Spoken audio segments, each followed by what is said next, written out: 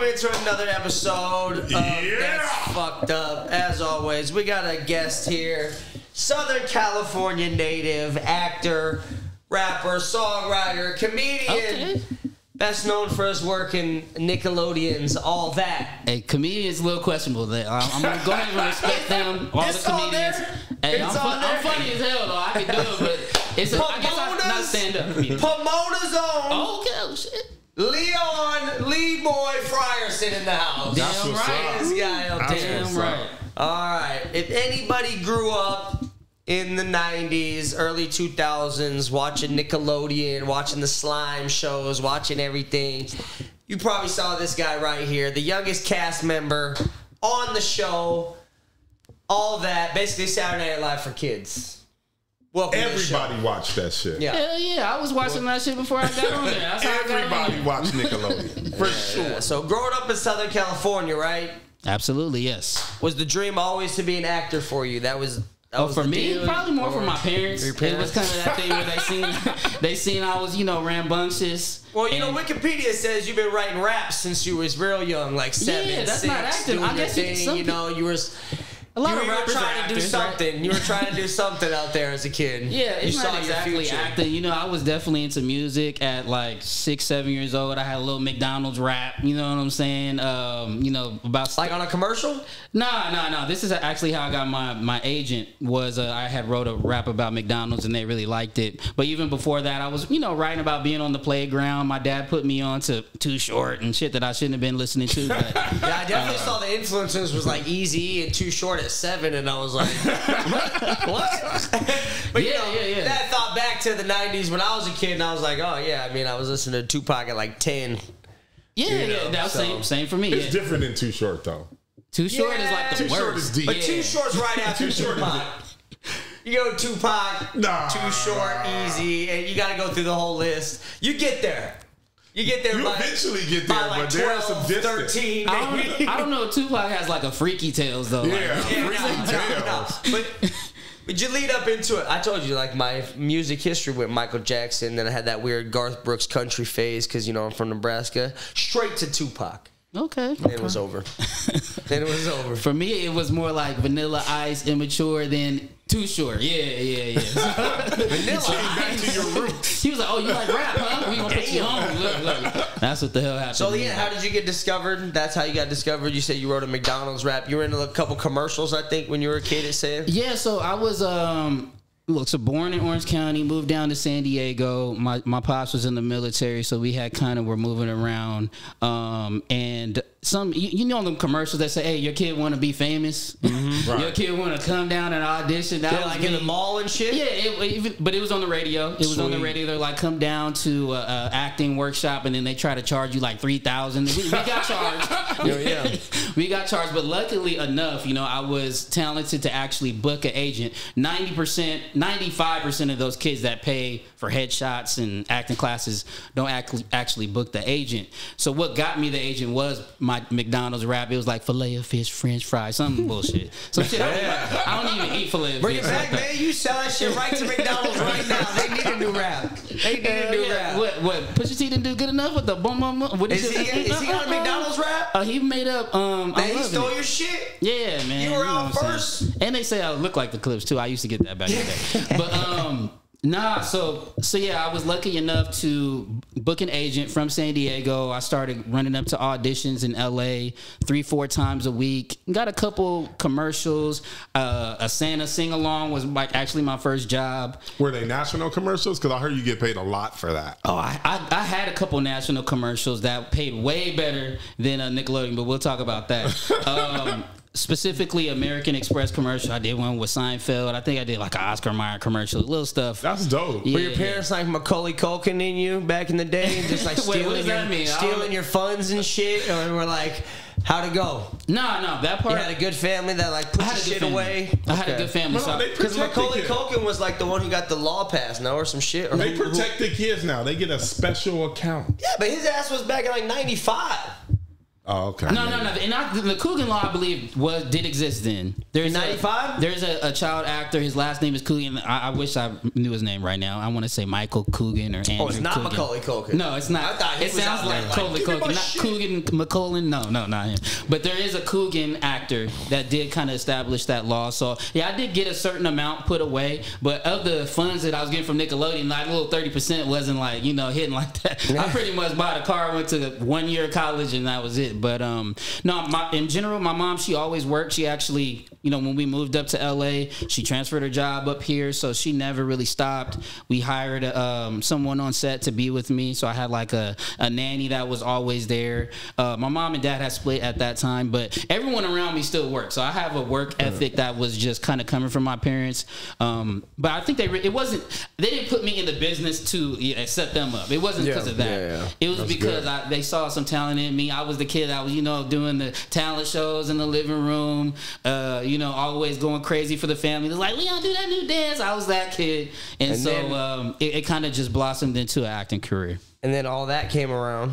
All And that was like get- my my first get- majors, you know, booking, especially when it comes to TV. Uh, my question is, do you still do the Jim Carrey, uh, Mike, No, Mike no. Tyson impression? Because No. it said that's how you got the job with the Jim Hey, Carrey, you- Mike Tyson yeah, you Did a little impression. research. You did a little research. Yeah, um, I loved uh, Living Color and Fire Marshal Bill specifically. that laugh that he used to do was my thing. So uh, I did. I did Jim Carrey. I did a Mike Tyson. You still Um, got the Mike Tyson, or you let it go? Nah, hell no, I ain't gonna do that. And this is when you were auditioning for Nickelodeon, This all is, that. This was in the room, yeah. So they asked us to prepare a couple characters. Okay. We also had some sides, so that we did do a scene. But for the most part, they wanted to just put us, uh, wanted to see us up there, see what the hell we had, really from nothing.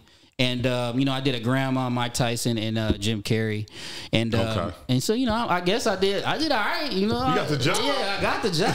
You know, what I'm? Youngest kid on the set. Yeah, at As the I time, said, you were the youngest, the youngest kid. kid. on. How was how was that being the youngest? Yeah, so I'm- youngest kid out there. I'm, I'm like three months younger than Amanda Bynes. And you know, I think she was the youngest when she had first came on, and then there's also Katrina Johnson, who was the youngest when she came on. So I was the youngest during my tenure. I was Yeah. 10 years old when I started, to about 12 or 13. So I did three seasons, and uh, you know, I was uh, I was a kid, bro. I was a goofball. Me and Amanda was running around crazy. Like, definitely was just causing havoc on the set for sure.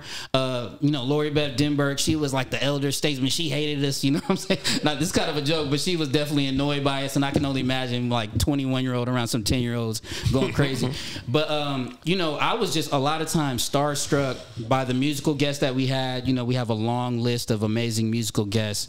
You know, with Wyclef Jean, Beyonce, and Yeah, Destiny's Child. people were on the show. I saw that. I Ice that. Cube. Uh, there's there's tons of names. Deborah Cox. I could go on and on. Besides that, you you were on the '97, right? Yeah, about on the show? '97 to 2000. Yeah. Were you in the episode with Chris Farley? Was Chris Farley on the show? Chris I Farley see it- was on the I show. see an edit, or I see a credit to Chris Farley, and I'm like, Chris Farley on the show is crazy. I think that was the season before mine. Right Yeah. before you? Yeah, Oh, right before mine. And I was a fan of Chris, like, just slapstick, crazy comedy. Yeah. I loved Chris Farley back then. I would have loved to uh, be able was to be in the scene with fuck, I wonder what he did. I should have looked it up. What'd he do? I think he was in the bathtub next to Kenan. They did Pierre Escargot. I'm pretty sure. Yeah, they did that. Um, which is, you know, they're just speaking in French and then they translate it to English. And it was always some crazy shit like, I love pickles in my back. You know? and they be like, school if you Pickles And they be like, in your back? Yeah, Yeah, see? well, I Uh, just made that shit up. No. Oh, okay. I was like, what But the fuck? if you look at it, it was a lot of hot dogs and ducks and rear talk, you know, my belly button type shit. Like, Who was your who was the favorite like celebrity guest that you got to work with, or person that came on, or somebody who influenced you or helped you, maybe, or was just the, the most fun to work with? I guess. Because a lot of people came mm-hmm. on, like Britney Spears was on. Were all the musical guests? Did the musical guests do skits? Usually they would do a small skit. or- It was very similar to Saturday Night Live. Yeah. They wouldn't do the whole show the way they do on Saturday Night Live, but they would probably be in one skit and maybe like, um, you know, kind of introduce something like. So it, it it was very similar. Because bro, you had Wait a minute. He yo, did. wait a musical minute. guests from LL Cool J, Tribe Mm-hmm. Called Quest, Nas, Aaliyah, Erykah Badu, Mase, Busta Rhymes, Usher, Missy, Destiny's Child, Wow. Ice Cube, Shaq was on that motherfucker, OutKast, Britney Spears. Brittany, was it young Britney? Was she like a child, or was this older Britney fine as Jamie, hell? her sister was on the show. No, The- yeah, in later seasons, Jamie ended up being on the show. Uh, Britney Spears was there. Actually, her and NSYNC were there the same week, and they shut shit down. Yeah, like, I it saw was that. crazy. Back to um, back. I want to say this was like around 99, 2000. So when did she come out? 90. I don't know. I'm not sure. But she probably was, you know, maybe 18, 19. I, her and Justin were definitely dating at the time. It was Oh, like okay. during that, you know, the whole jean era, Yeah, what yeah, the yeah. whole jean shit that they wore. so who was the best on then? Who was the best guest? Musically or just in general? In general. Actor wise first, and then we'll talk about music. You know what? I would say, you know, one of the best people, my favorite to kind of go back and forth with and uh, meet was Wyclef Jean. And I mentioned him first because, um, one, I was just a, a fan of his music at the time, but he actually took a big interest in me because I was doing CJ and Cloudy Nights that week. This, um, in this particular scene, it was kind of like Michael Jackson and the Jackson Five. So I was up front singing. I had a big afro, and he was acting like he wanted to sign your boy. I was like, okay, yeah, yeah, I rock with Wyclef. But um, but you know, he was also producing Destiny's Child at the time, and I just seen him as a music mogul, and we had a, a, a quick little you know chat relationship. It was really dope, and I would also throw Shaq right in there. He really came on as a musical guest, but anytime if you've ever met Shaq, and I met He him a couple fun. times, Yeah. he's just Yeah, one he's of the good dopest time, people to yeah. meet. Yeah, he's one of the dopest people to me. I have a picture that I still, you know, post up, every, you know, every once in a while. Every time it's his birthday, shout out to Shaq. Um, I last seen him at the Kobe Memorial, and uh, he's just a great dude. Represents LA well. Some and um, you know what? I, I'm gonna go ahead and put it out here that one of the worst guests. Oh, that's talk about That's, it. that's Let's what go. we're That- here. yeah, this Worst is- that's guest. fucked There up. we go. and The it was, hey, and this was fucked up. Okay. Kobe Bryant, man, rest in peace to my guy. Kobe Bryant, man. Damn, Kobe. He didn't want to interact. He didn't want to sign my jersey, bro. Oh. I'm a Laker fan. I'm a Laker fan, chasing down Kobe. You know, he was. I want to say it was his second season. He he, he He appeared wasn't in. even a star. He was in exactly. He still He had the wasn't star and shit, Like, Hey, come on, coming- man. went he to was- he was coming off the bench. He He a was- head. He, he was during that time. No, Lakers. fuck that. He was coming off the bench. He was second behind. He went to prom with Eddie Brandy. He went to prom with Brandy. Fuck that. And he, he was mad because I would told him, get that shit braided, bro. Do something with that. Pick it out correctly. No, I'm playing. But nah, um, and obviously K- Kobe, we, we love and cherish him. This is LA. But I did have it, you know, I was salty about Kobe for years. You know what I'm saying? I had to like I couldn't like praise him the way I should have like wanted to when he passed away because I had to keep it real. Like, you know what, I've been hating on Kobe for a while now. Right. He never signed um, that jersey. I'm sorry. Motherfucker. No, but he did. Now, Oh, he he, did. did get the jersey. I had a producer that ended up shipping it to him, and he signed it. He sent it back, so I did end up getting the jersey signed. So I can't be completely mad. shit. But I didn't get no picture. I didn't get no picture. I didn't get the personal experience, and you know I was That spoiled. You know what I'm saying? I'm used to. He you know, get slimed.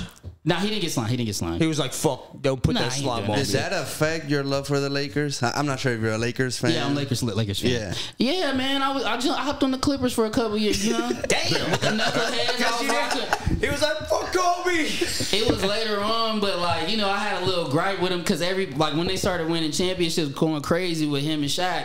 You know, everybody was jumping on the bandwagon in high school. It was just like, man, I've been a Lakers fan since birth. My dad basically put me onto the Lakers when I was a, a, a little kid. But um, so I, I switched over to the Clippers for a couple years. You know, I was rocking with Q Rich.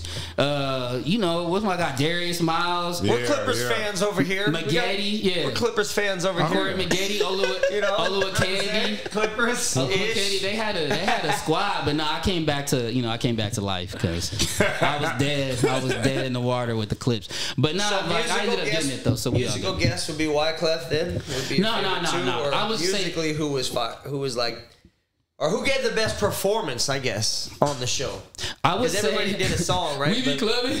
Ice Cube. Ice Cube? Ice Cube was crazy. Like He just came in like Yeah, and like, Like no hearing that show? on the all that Nickelodeon set, and then like one of the producers' kids, like Brian Robbins. I don't know if it was his actual, like I don't. Yeah, I'm I'm pretty pretty sure it was his kid, but we was hella tight. But he was up there crip walking. He's like a little white boy. You know what I'm saying? We was up. My homegirl. We I invited a homegirl out there. She got on stage. She had all the kids hop on stage. So it was you know, and it's we be clubbing. It was like we was really clubbing at the all that set. But um, as far as like my favorite, someone I just really looked up to that was crazy was Lauryn Hill. Um, you know, I'm just a big fan of her work. She actually never came on set. she was at the Hollywood Bowl, and they like kind of feel, you know, uh, put the footage in. But in general, just having her as part of the show, just as part of that long list of names that Oh, roster. she was never actually there. Now she was on the hundredth episode and she didn't actually come to the set, but her performance was at the Hollywood Bowl and it was dedicated to all that. But still, she was a legend at the time. You know, she that was during her Grammy tenure. You know what I'm saying? So it was, uh, you know, and she was probably a little bougie, so she wasn't going to come up to the set. Hell no. How many No. acts were there for the Hunter show? It was like that was like uh I want like to. two or three of them, no, or something. Was like I can't remember. I can't remember. Um. I, I just I think it was I want to say it was just her. You might be thinking of the 10th anniversary. And I don't know. I saw one where there was like I think maybe her and like Busta Rhymes, maybe or somebody. Else. It might have been or a I don't couple. know. It might have been a couple. I can't think of it at There the were time. so many people. yeah, but Busta that came to that Rhymes, shit. well, Busta Rhymes was Everybody definitely came. dope. It was like if you were going through a circuit in the '90s, you had to go through Nickelodeon. which is crazy. It's just is- crazy that's why- because But yeah, musically, it makes sense though. yeah, you have Busta Rhymes, and I mean, and, and the the show intro is created by or sang by TLC. Yeah, So they started off Wow. high already. TLC did like two of the first episodes. They did the 1st one and the third one, I think. Mm-hmm. So they like started off with a bang, and then it was just a, you know, it's amazing, and it's probably one of the best things that I really love about being part of a show like that is just the cultural impact. You have all those people that infuse the hip hop and R and B culture with kids, and so you know, definitely happy to be a part Now, of that. So we always ask on most people, and since you're into music and you do music and you've seen a lot of guests, who's your five favorite rappers of all time? Oh, okay. We always have that question here. no, that's cool. That's You cool. know, let's see you what know, you got going on. I on got here. a biased list too. You're a West Uh, Coast guy. Let's see yeah, how it yeah, goes. so I'm a Are you already West Coast throw- bias? In your, Yeah, yeah. Oh, okay. Yeah, Oh, yeah. I love that. Yeah, yeah. So I'm gonna throw E40 in my list. Oh, Talk nobody about it. said And that- E40 yet. Talk he could, about it. He could be number one. I ain't gonna do it. I ain't gonna do the rest of the game like that. 40. Um, I'll also throw Snoop in my top five. Okay. And it's not because of bars or anything. I mean, Snoop do have some bar. He might get off, especially in the freestyle. Don't do not underestimate Snoop in a freestyle. But um, just you know his aura. I just he might be one of the most recognizable rappers of all time. So Most People, recognizable recognized voice people of of all all time. time. Yeah. Just Right. voice. Period. So that's that's the bias. Um, but you know, to me, they are truly top five. I could I, mean, I could throw like a Mac Dre in there. I ain't gonna do I ain't gonna go that far. Ooh, you but, good. You throw You whoever you want in your list. This is your list. He Don't hit- worry about the people. This is your list. right. no, I he- he's in Oakland heavy right now. Yeah, yeah. That is true. I do like a lot of Bay Area rap. If you guys listen to my my debut album, Make Music Slap Again, you know, slap is a Bay term, and um, a lot of my influence does come from the Bay. I love some slaps. um, but Jay Z definitely, I you know, if someone was asking me, I'm like, he's to me the just the best. He's just the best rapper all around. When you go to what he's done off the court, So we have this on the argument court. a lot, and me and my friend Alejandro over here say that Kanye's better than Jay Z. We just That think is musically, ridiculous. catalog wise. he thinks Jay Z's better, but right now Kanye's album's outstreaming all of Jay Z's music combined. So I'm, not, really sure. I listened to the album and I'm I'm trying to understand why is it happening. it's not made for you. It's not made for Hey, you. listen, I that just makes a bought lot of my bitch a bitch. Yeah, that's it. Go hard. Um, no, I, you know what? I, I could throw Kanye. I could throw Kanye. Don't let them sway you. Don't, don't, Don't let them This is your sway you. Well, who are you talking? You got You got, you got two more. E40, I got Jay Z, E40. I got Snoop. Snoop. Let me. Um, I'm gonna put Kanye in there. Okay. Ooh. I'm gonna Okay. put Kanye in there once again, not because of bars. To me, bars don't mean is not everything. Bars is not everything, but um, you know what he's done musically is just crazy, and he continues to do it. Uh, one more, one more. Let's see what I got here, man. This is difficult. Um, it ain't Nas, I'll tell you that. Uh, it ain't him. Or like uh, Alejandro likes to call him. N- Nas. It was an accident. Um, No Tupac, no Biggie, no Ice Cube. Cube, no shit. I will. Um, no, let's round it out with coming on Pop. here disrespecting Tupac. No, No, let's round it out with Pop. Okay. Let's round it out with Pop. Um, Thank you, Jesus. I was so worried about you for a second. You know, Well, you our, last guest, our last guest said he wasn't even top fifty, and I wanted to just throw Oh him out no of here, no no! throw him no. I out the wouldn't- building. I wouldn't say that. You know what I'm saying? You know what it is though. Just just to be completely honest, like you know the age that I grew up, I didn't I didn't get to hear all Pac's music. Like he has just so much music, so you We're would have to same age. you would have to go back and research it. 1986, baby. Yeah, you're right. But you heard all of his songs. Everyone. See, And I, I'm from a town of 395 people in Nebraska.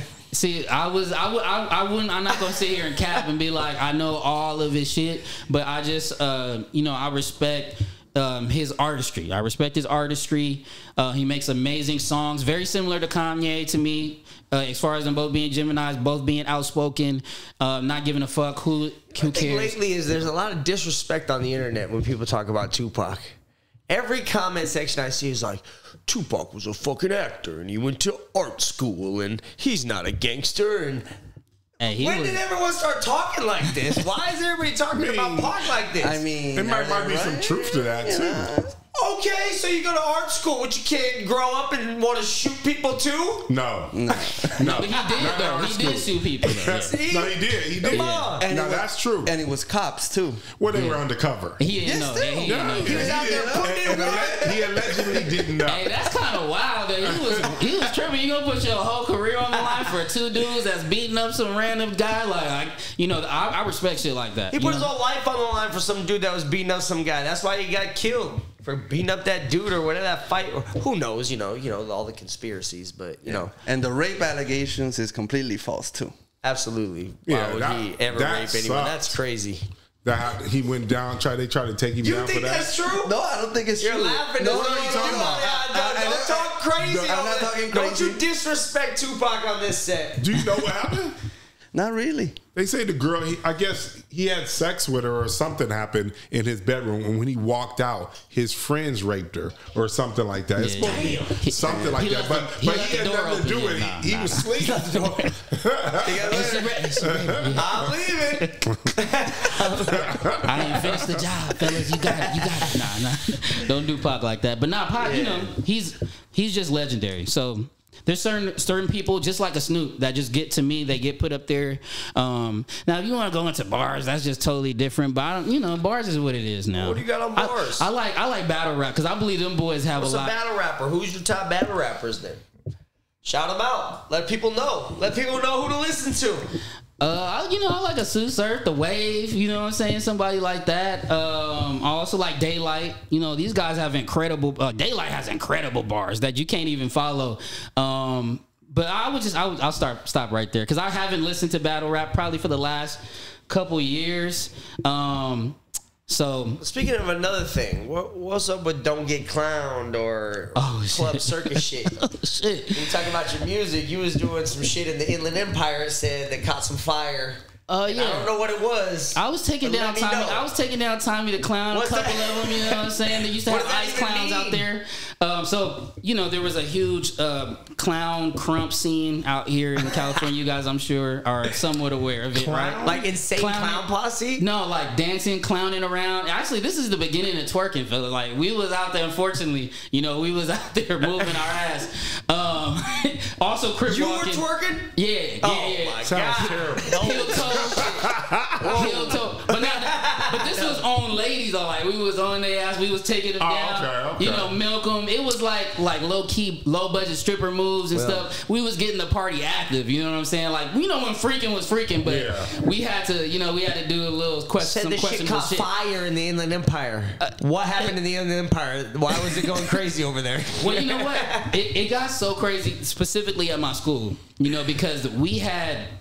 We, we started taking over like our rallies and they would just let us perform. And it got so well liked by our school. They gave us our own period at school. Like you guys go to dance class but it was just us Yeah. just making up routines and heel tone crip walking twerking unfortunately pot locking gonna be great. yeah, we was all, they was like, look, y'all so y'all could just go do y'all thing for a whole period and we got credit for it. So Damn. um, yeah, so I would say, you know, we was dancing outside of Ontario Mills and like had full on battles in, in front of like, you know, the most popular areas in the Inland Empire. But it came from LA. Keep it clear. Like, Don't Get Clown was um, actually my LA uh, version.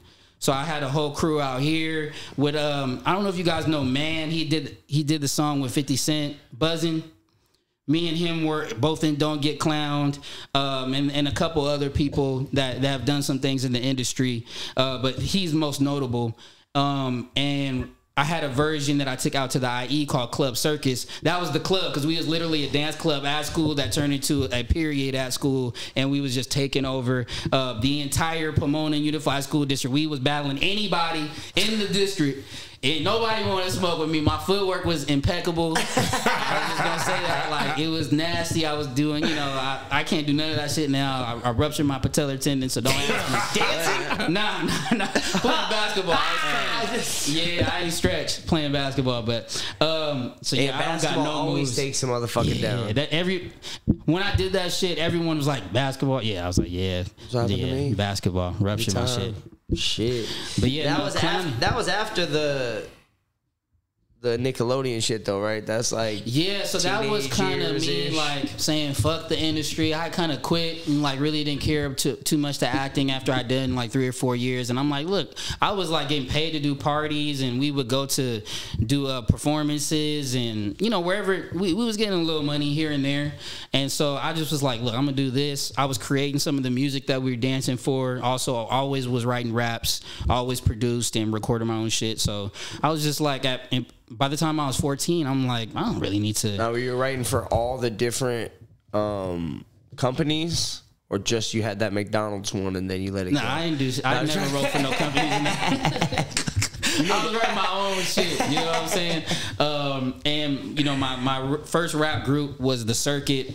Uh, it was three of us, myself, Marvel the Great, VIB Easy, um, and those fellas. And one of them went to God. Shout out to my guy. Uh, well, he was B They said you broke up with these cats. Yeah, now you he's started your own solo shit. Sun Wo, uh, Sun Wo, he he's gone on and um, you know do, doing gospel rap still to this day. But he, now he's the one broke up the group. I didn't break. it. He fucked up the whole group. Like so, one of our biggest performances, we performed in front of Lenny S at the Key Club, and he was very interested in us. It's actually still on YouTube, and he was like, "Hey, call Rocka Rockefeller, we gonna get you on." Blah blah blah. And bro, I think I was calling on West Coast time. I should have been calling at like six in the morning. to You hit go him at lunch? nine. I'm hitting him at nine, and you know it's like twelve lunch, and I'm hitting up for every day for like a month straight. Never got in touch with him, um, but you know he was real interested in us, and, um, and, along with some others, we were really dope. You know, I, I'm not a part of no bullshit. I ain't gonna be in no bullshit group. I'll just let you know right now. I'm a talented young man. You know what I'm saying? Still young out here. So if I was part of it, it was some fire, um, and we definitely had some fire. It's just you know we was probably getting a little bit too on.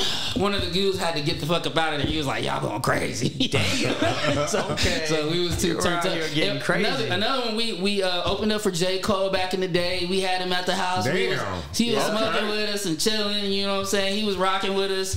Um, this was at LMU, and so uh, You also open for like the game. Um, uh, E40? NORE, Locks, Soulja Boy. It yeah, says the all that game shit. E40. You did that NORE, solo though, right? Soulja- I opened up for Soulja Boy in the game solo, um, but uh, also in conjunction with one of the dudes Where from at? the group. Uh, What was like the biggest venue you you opened up for? That was popping. Well, It's the crazy. game was out in San Diego in the Gaslight District. Um, This when he was big.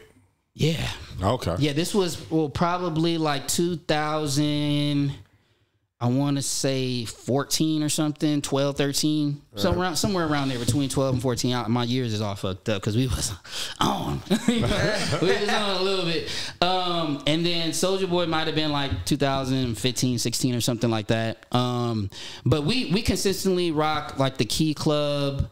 And all, all the shit that was right there in North Hollywood, we was all the way, all the way Can you up, up find and your down that music street. now on Hell yeah. Spotify? Yeah, yeah. Not Okay. on Spotify. You can find our shit on like one. You can find it from my Instagram at Leeboy TV. If you go to my little drop down links, I got uh, two of the Circuit albums on there. I got my shit on there. Uh, Make Music Slap Again is on um, on Spotify and on Apple Music. It's on all the DSPs, so you can definitely find my personal album. And uh, it is stuff that I made probably from around 2016. 2018 ish, but I, I released it in 2022. That's uh, not just even too long ago. no, no, Yeah. not too long. One of them still slap. Go, uh, you know, uh, well, it all slaps. It all slaps. but you can tell, you can tell that some of it is, you know, a little bit dated.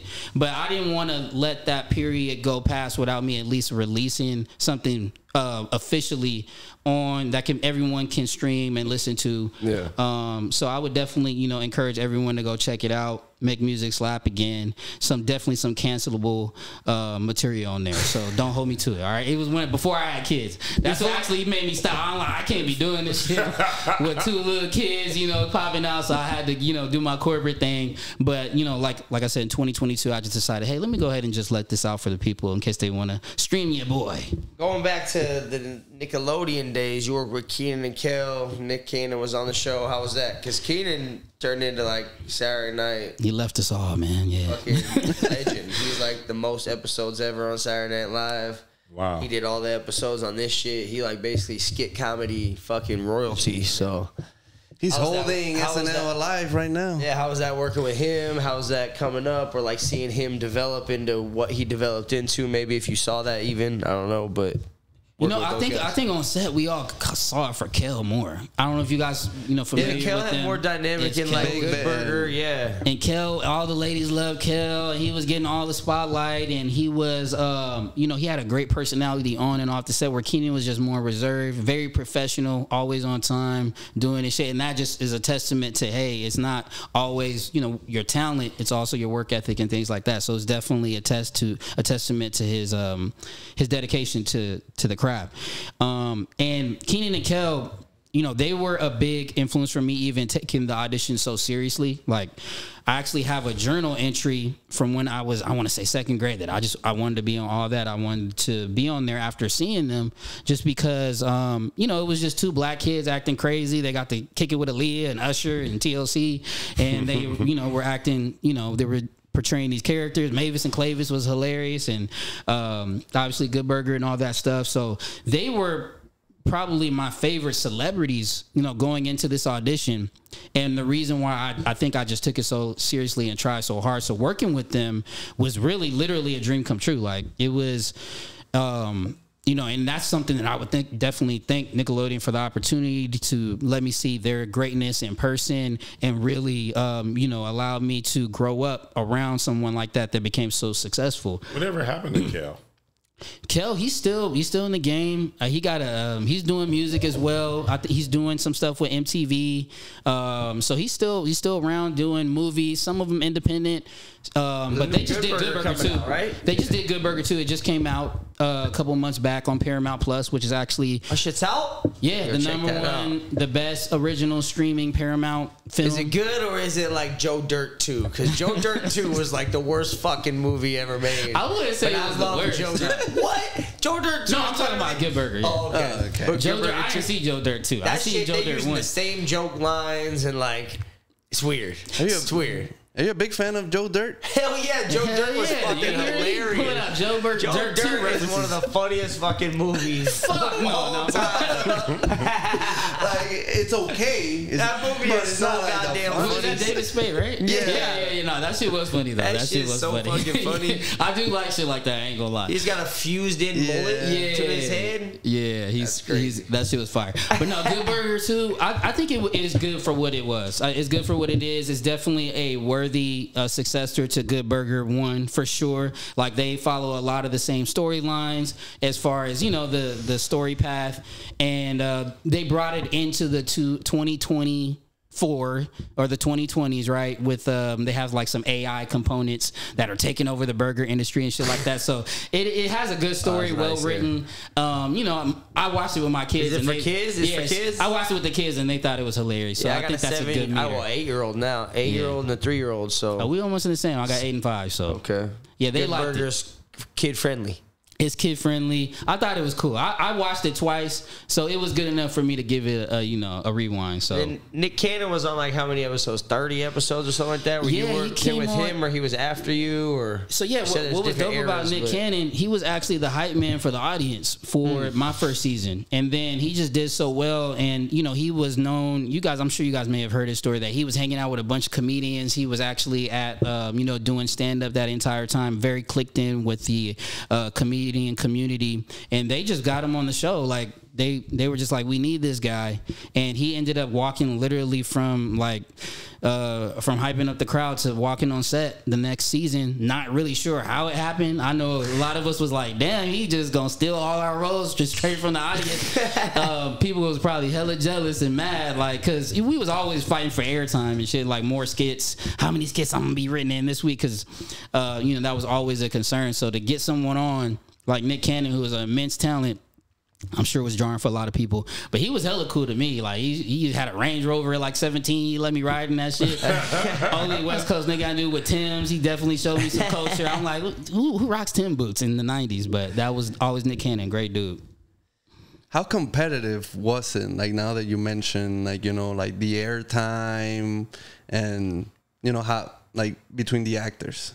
I think you know, and I, I want to say this is probably the same on most sets, a lot of sets, but it was specifically competitive because it was a um, you know sketch comedy show. So some you could literally be written in one sketch for this week and be like, damn, you know, like they ain't really fucking with me this week, you know, like, um, and then especially for you know when it comes you know i was a, obviously one of the three uh, male black character or cast members and so there there was kind of like shit that they had to spread between me uh, Kenan and Kel, and then you add on Nick Cannon. So like we are all kind of fighting for the same shit. Although you know I was younger than them, but the three of them were definitely like fighting for the same opportunities. And I would say in, in general, people was there was a lot of hate, mad behind the scenes, like uh, you know shit talking. Uh, for me, I, I was just 10 and happy to be around. I was just more, you know, concerned with meeting the musical guests and trying to, uh, you know, build with them and, you know, getting on Tekken. Like they had Tekken on the set. I'm chilling with that, being in the green room, kicking it with Kenan and Kel. I was in a couple like uh, classroom sets. I was cool. Like, and, you know, they was always trying to throw me in like a, you know, like a, a dress or uh, some tights. Anyway, I'm cool. You can leave me out of that shit anyway. Like, you know, let me just do my thing, be myself. I was always happy to be uh, like kind of minimal.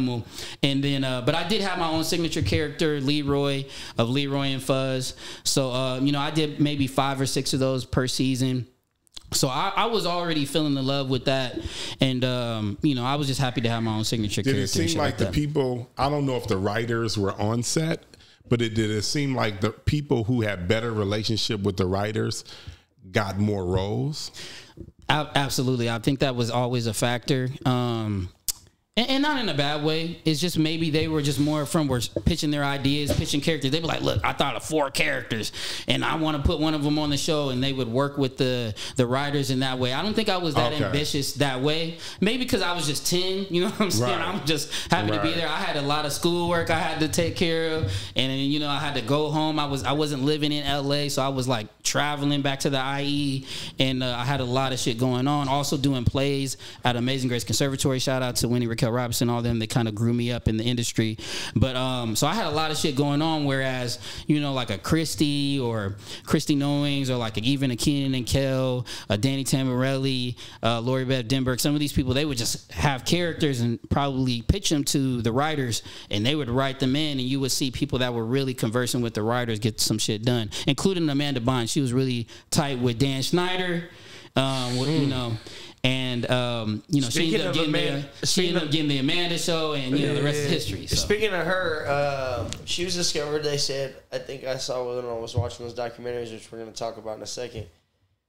Like, let me stop laughing. Uh, that she was discovered at like workshops they used to have at the Laugh Factory for kids. So I didn't even know they had that yeah, shit. I didn't either. I did They, some, yeah. they, you had some. Wait a minute. So there was like they at the Laugh Factory for kids, like comedy acts. yeah, she was she was a comedy act. Yeah, she This got to Oh, be wow. like the height of kids entertainment, That- like the Nickelodeon days, like from there. Because I ain't never heard of no I- shit like one that. One time like, I went to the Chateau of Comedy, and you know, because I was trying to do like you know some whatever, and they were all fucking Wait a kids. minute. Please tell me you didn't do any stand you did up. stand up. I was trying to. They said And that they were they like, told "You're me. not 12." we need that footage. no, no, because it, it said it was the open mic night, but then there were a bunch of kids. I'm like, this fucking kid's taking away my shine. God you damn. did some at the Laugh Factory. Well, I, did, I think I did the gong show at the Laugh, Laugh Factory. So I went up there and did like a little set. I didn't get gonged. I don't know if you guys remember that shit. That shit's old as hell. But um, but you could go up there and do anything. So I did that in the Laugh Factory as a kid, and I messed around with stand up a little bit. But Amanda, she was a beast though. I don't know if you've seen some of the footage in the doc. And um, yeah, that's how she got discovered was just basically doing sets, you know. Um, stand up at like eight. yeah, she was like nine, That's awesome. eight, yeah, maybe eight, yeah. Because I think she got on the show, she was like nine, ten. So she was doing that at eight, and she was like, you know, and you know, to her credit, she was incredible on the show as well. Like she did Ask Ashley, which was basically like a three minute monologue, just her talking to the camera, reading letters, and just going off, blowing up about the stupid shit that they would ask her. Uh, you know, with me and my single, my signature character, I had a puppet that I would play off, so it was a little bit different. We would go back and forth, and there were some things involved, some physical comedy, but she was just her, a camera, going at it for three, four minutes. So what she did on on stage, she took right to the show and. She's she's un, she's almost unmatched as a nine year old. You know what I'm saying? Like, Yeah, it's she was crazy. The footage I saw, like I never, I only heard, like I never watched that much Nickelodeon to be honest with you, or mm-hmm. none of that shit or whatever. And when I saw her doing her shit on this documentary, I was, I was like, God damn, she's like super good and confident and like crazy delivery, crazy timing, crazy like everything when she's like eight, ten. Wow. And then they give her her own show and all that kind of shit. But you were you were close to her age, right? Like, Yeah, so you- we were two basically- like two of the youngest on the show.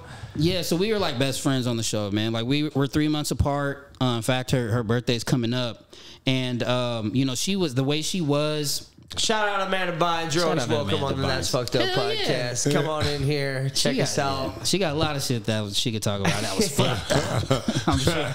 I can't speak for her, but no, like we were best friends. Like we visited each other's houses. She actually came out to see some of my plays, and um, you know the way she was on stage was kind of like her personality in person. She's very bubbly, very personable. She gets right to it. She's hella cool, um, which is just a huge, huge, hugely different to who she is now. I don't know if you guys seen the videos. Yeah. Uh, and it's not a laughing matter, really, but she's just a completely different person, someone that you don't really recognize when you grew up with them. And, uh, you know, definitely I've been trying to get in contact with her because that's the homegirl, right? So let's talk about on why maybe she is these ways because you definitely put us on to some documentary that is dropping tonight. I love it. What's it called? Quiet on set. Quiet on set. Some of the craziest shit I ever heard. I you know none of this shit was going down at Nickelodeon. First time I ever heard of this shit. Dan Schneider, sick ass jokes, crazy kid shit going on. What's some wild shit you saw on set? Yeah, so You first were in this documentary. we got to let them know because they told us to make sure we shout them out properly Yeah. because they gave Shout them out. You know, they let us see the doc. Um, Quiet on set. The Dark Side of Kids TV Hmm. airing Sunday and Monday. So you guys, it's already out. Go stream that right and now. that shit's HBO crazy. Max. I already watched the first two episodes, and I'm like, "How you gonna leave me like this?" I gotta go see the other two. Yeah, it's crazy. What streaming platform is it on? It's on HBO Max, HBO produced by Investigation Discovery, um, and so and you know they're great people behind the scenes. What was your question again? I just wanted to make the sure we get question that out is like some just fucked up. Like, is Dan Schneider going to prison? Dan, this is crazy. Like, is this like an Epstein thing? Like, what's happening? Because as soon as this drops, like, I didn't know about this shit. I didn't know about this guy. So Dan Schneider apparently, right, Dan- created most of the kid shows that we know on Nickelodeon. Okay. He's known, yeah, he's known as like one of the most prolific kids show writers, creators. Uh, created uh, iCarly, Victorious. Um, he didn't create all that, but he was there from the beginning and, and was writing from the beginning. Like um, Kenan Kel. I'm not sure about of that, Kenan and Kel. right? I know Amanda Show. I don't think Kenan and Amanda Kel. Show. Drake and Josh? Okay. Drake and Drake- Josh. oh yeah, Drake and Josh. absolutely. That's the one. That's the one. And then uh, I think I want to say Danger Force and one of the newer ones they got rid of him recently, but he had came back just a couple years ago in like two- 2016, 2015, did a show. Yeah, your then- ass better go away right now, Dan Schneider, because this shit is crazy. So I will say, as far as him like going to jail, he hasn't been like charged. I don't believe. I don't think he's has any like formal charges or ever been convicted of anything. So we're just gonna put that as out. Everything is alleged with him, right? Brian Peck, who is, is like a buddy that he brought from sets and uh, kept around as an acting again, coach, we is only saw convicted. The first Is two convicted. episodes, which leaves me kind of hanging when it got to all the we- crazy shit. So it wasn't And Dan so Right now, yeah, yeah. Dan's kind of just like a sick weirdo in his head. That's like. But he's the head of all these fucking jokes. Like you guys are basically doing cum jokes. You got dicks and balls on your shoulders, and like, you know what I mean? wait, hold on, This pause, sounds bro. fucking Pause, terrible. bro. Come on. Kind of show is You this? saw, it was in the thing. Yeah, yeah. You I said, saw it? I said penis and testicles. You know, I gotta keep it. You know, This you is got- that's fucked up, man. You got, you got to keep it with the real terms, the medical terms. Okay. well, I ain't fucking with no dick and balls. Come on, bro. Well, you got some penis and testicles on your fucking shoulders in some Yeah, bro. Spandex. What's the significance of that Bro, with it kids? was feet jokes. It was N- n- like foot fetish jokes. fetish shit. Not, yeah, not just feet Yeah, jokes. yeah, like yeah, kids like- like, praising feet, they're touching, or like you tickle my feet and you're like, ah, and then like goddamn glory hole and pickles. Dude, So- passing pickles through a glory hole. So let me start off. Let me start off though with dance. Like you, you wanted to bring him up. Yeah. Oh yeah. And so I would say around 2020, and uh, you know, I had by this time I was like completely out of the industry. I never gave a damn. Uh, I didn't have anything against Nickelodeon, but I did want to kind of be an advocate for child stars and shit that we went through because it's kind of fucked up how they left us out here destitute. But Oh, it's fucked up. but during that time, though, I was doing my research and just looking at Nickelodeon, and I started seeing uh, Ariana Grande with a foot in her mouth. You know Mm. what I'm saying? Squeezing potatoes and trying to squeeze the juice out Trying of to potatoes. juice out of a potato. Ariana Grande had a foot in her mouth. Her In own her foot. mouth. oh, her own foot. Okay, Her own I'm foot in finna her mouth. Not going Still, but still, it's like all these feet things together. Like it's a She's bunch of shit. She's pouring water on herself Yeah, and water, like, giggling and uh, making. backwards on a fucking bed. Who the fuck is writing all these shows? This Dan dude, Schneider. Dan Schneider. he wrote all these shows. Well, he was the, Well, he the had lead writer. writers He was the head writer of the writers' room, and uh, you know, in the you'll see in the documentary they talk about him having like pornography up on his on his screen during in the writing room, and kind of Always asking for massage. Dan Schneider is in the same sense that you think that white people aren't funny. He said that uh, women are not funny, but he had two women writers on the show. And he challenged them to think of a funny uh, female writer, right? and then he, had, he had one of them like reenact some sodomy, like getting sodomized telling the story about like how she could connect in. It, it could, to a high school story, and she was telling about her high school, and he was like, "That would be funny if you did that and acted like you were being sodomized, and then just like didn't let it go." The documentary said, and like the lady had to do it, just like bent over the table in front of everybody in the writing room, and just like talking like she's getting fucked in the ass, which we know that sodomy has been clearly you stated. It's both. Yeah, sodomy It's is both. apparently uh, Anal and oral. Anal and oral, but I didn't know Anal that. or anal I did or. not know that. Oh, I'll be sodomizing and don't play. oh, wait, wait, rewind. Yeah. wait, cut that shit out. Exactly. Only one way, only one way, not the back way. yeah, but like crazy shit on set. And you said in the thing that like Amanda had been. So what? So I didn't. We, I didn't get past the second episode, obviously, because we didn't get it yet. Because I got to tune in to it. But it'll it'll be dropping on What Monday. You guys can already watch it. are you Uh, saying that Amanda was always missing during like school time and shit like Look, that? the way they or how they chopped it, or whatever you I ain't said. gonna say it was out of you made it context. say Yeah. you were looking around for Amanda and she wasn't anywhere to be found. You know, and I just the looked at. The question is, was Dan able to be found? And look, I never really was in Dan's office or kicking it with Dan, and maybe he just didn't think I was that funny, and we didn't connect, or maybe my parents were just like, you don't go kick it with old white dudes and chill. Like that wasn't really my thing, but you know, I maybe just thought of Amanda. It just seemed like she was always gone. So like the way they put it in the doc, I ain't gonna say it was like out of context, but it, it they put that shit in there, right? Was she hanging out with Dan a lot? I, you know, I, or did I her and Dan have a great relationship? her and Dan had a great relationship. And so she did hang out with Dan quite a bit. You know, I, I could vividly remember him, her like, you know, giving him massages, or he would be like, you know, hugging her for the back. I'm, I'm saying, you know, like it's totally relatable. She was like kind of in between his legs, sitting on his lap and shit like that. Like some maybe an uncle might do it. Like, No, but you're close uncles enough. don't do that. Uncles don't do that. That's why I say maybe. Uncles No, are the uncles don't worst. do that. That's statistically where all this shit happens. Yeah, Uncle Maybe Jim yeah, you, you're right. I don't I That'd don't be grow up on my I don't grow up on my niece like that. But you know, you you have seen uncles do shit like that, right? And it's like Yeah, the bad maybe if it's a family member, it could be permissible. But for a stranger or a, pro, a professional colleague, it's just totally unacceptable. To me, it'd be unacceptable if, if that was my daughter. I'd be like, get your ass over. You know I mean? like, what's going- Get your ass over here. What But is it- this? but it Amanda's the doc family- that you could, Okay, that you couldn't bring like parents weren't allowed on the set. That's No, I wouldn't say that. Which it wasn't like because that's how they made it sound on the doc. Like you had to pass your kid off to a fucking basically pickle boy and fucking walk you back to set. No, I would I wouldn't say that, but I do s- I would say that the parents that were more involved, they did seem to like there might have been repercussions with your child's airtime and like your relationship. Like a lot of people have said that they're like you know if I stood up or I said anything like they didn't wasn't really feeling this kid that you would see like. Bryan Hearne, he's in he's in the doc. He basically said he just got cut out the whole show. And I don't want to speak for Angelique Bates, but she has shared some stuff online about, you know, her um, about her family situation and how it ended to ended up being her demise on the show as well. And so, you know, with me, I always had a stage sitter. It was just a sweet old lady named Geraldine that was always there. Geraldine, shout Yeah, out shout out to Geraldine. You know, she was always making sure I was coming back to the room, you know, eat some food, and she was, you know, she was quiet and discreet about it, so she probably was doing the right thing.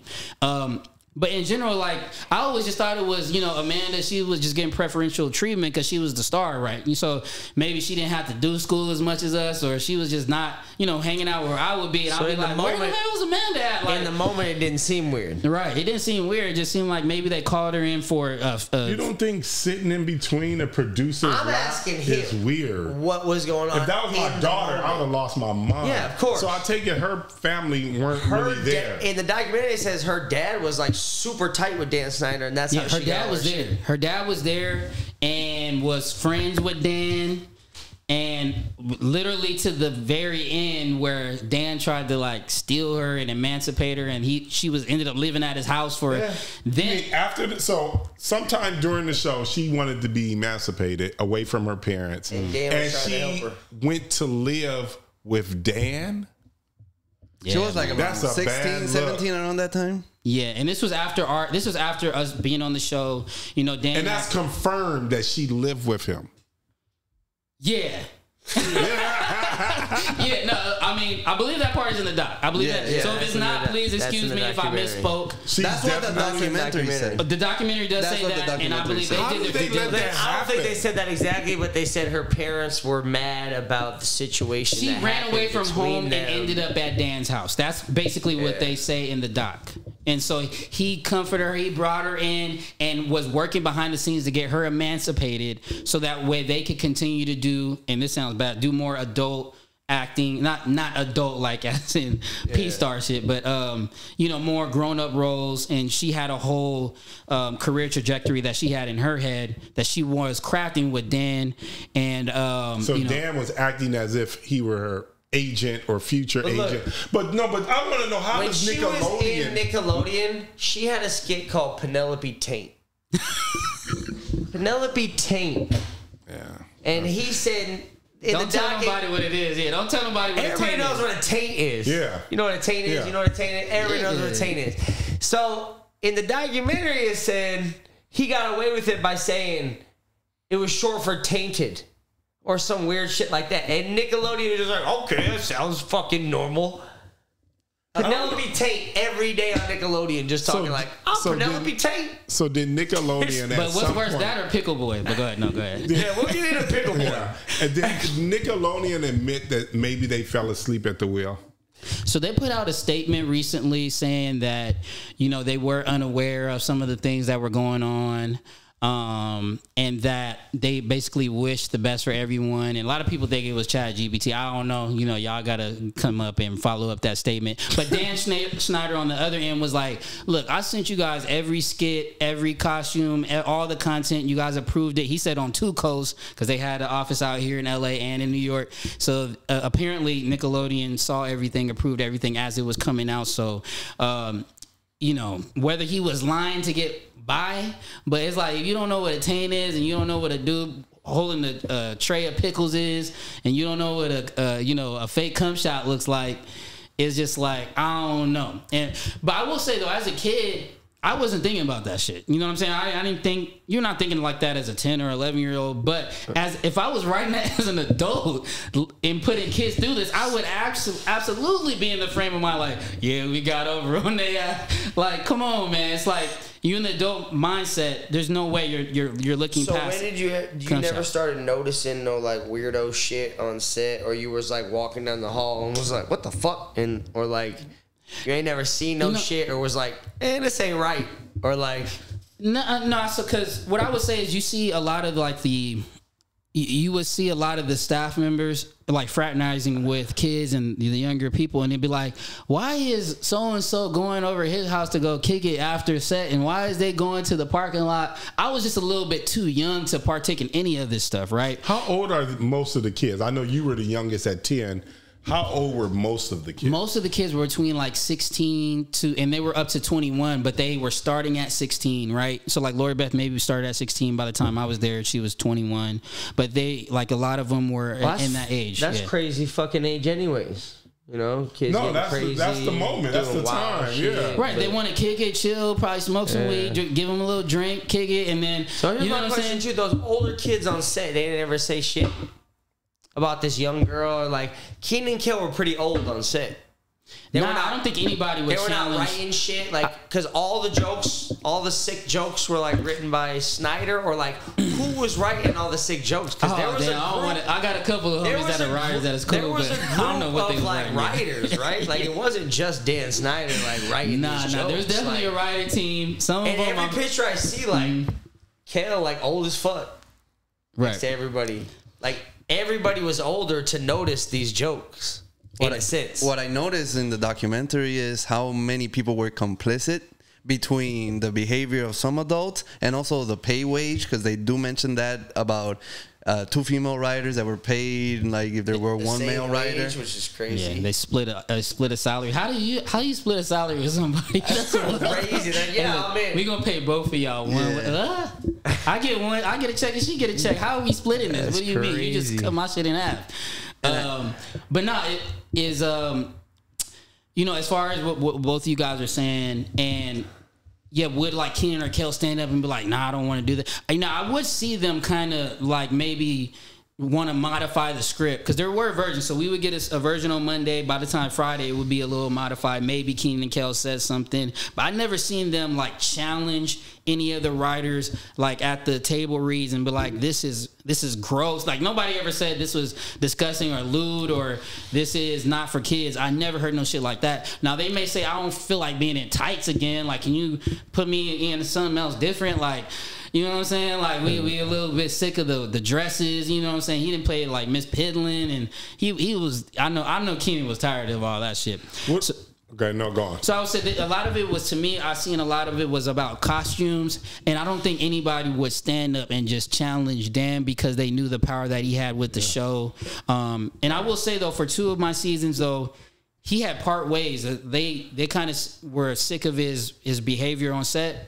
And so he was he was gone for two of my seasons. A lot of the stuff that we see in the documentaries when he came back had his own shows, and this was off him trying to create something for Amanda. It didn't work, but they were like, "No, come back. We'll give you your own shows." And that's when he had the Drake and Josh, the Victorious, and the Amanda show. All the crazy shit happened really when he came back. And what a lot of it was not on all that, other than a, a hostile work environment, is what happened when I was there. It wasn't really the sexual shit. Was there any producers that actually got convicted of child molestation, rape, or anything like that? Did anything like during that time period? Did anything actually happen? So yeah, and in the documentary, and you guys once again go watch it. The whole thing on HBO Max. They they have um, they talk about Brian Peck, who was actually convicted of molesting a child star that was on the show. He was on the Amanda Show. This is uh, Josh, no Drake Bell. Bell. Drake Bell, yeah. Sorry, I didn't watch uh, 'Cause- Drake and Josh, but it was it was Drake Bell who is uh, he's a huge star. I think he has like four million followers on Instagram. Kids love him. He ended up getting his own show off the Amanda Show. Um, he was molested, raped by Brian Peck, aka Pickle Boy, who was throwing pickles everywhere on set. Not during my time. Not during my time. Thank God, because I don't. I don't know what would have happened with my family and doing seeing shit like that. That's kind of. That's kind of strange. That's kind of strange. wild. But he was convicted, and like they talk about it in the doc. Like they were wondering who it was that had been molested. So they came out and was like, okay, Brian Peck, who was a speech coach there, a dialogue coach, is not going to be part of the show. And they didn't know why or who he had molested or anything like that. That part wasn't, um, you know, brought to light until this documentary. So that's what's so crazy about this documentary is that you know there was rumors about Drake Bell and what had happened, but he actually sits down in the same chair that I was in and tells. We're gonna see. He gonna tell the story. We only seen episode one and two. And And episode two is like it was a him sitting down yeah. right at the end. It's him sitting down, and it just cuts out on me. Now, have you heard the news about Drake Bell and the lawsuit he faced because he was messaging an underage girl? Do you think it's rooted with what happened with Brian Peck? Damn, man. There, there are there are rumors also that that's why he went to Mexico He for Mexico a little right bit, now, yeah. and he goes for by Drake Campana, Campana. Am I bad? That's Bell in Spanish. Because in Mexico, a lot of people watch Drake and Josh. Like it's one like very popular in the like. Uh, I'm I'm from Puerto Rico. Drake and Josh, Amanda Bynes show. I used to watch that too.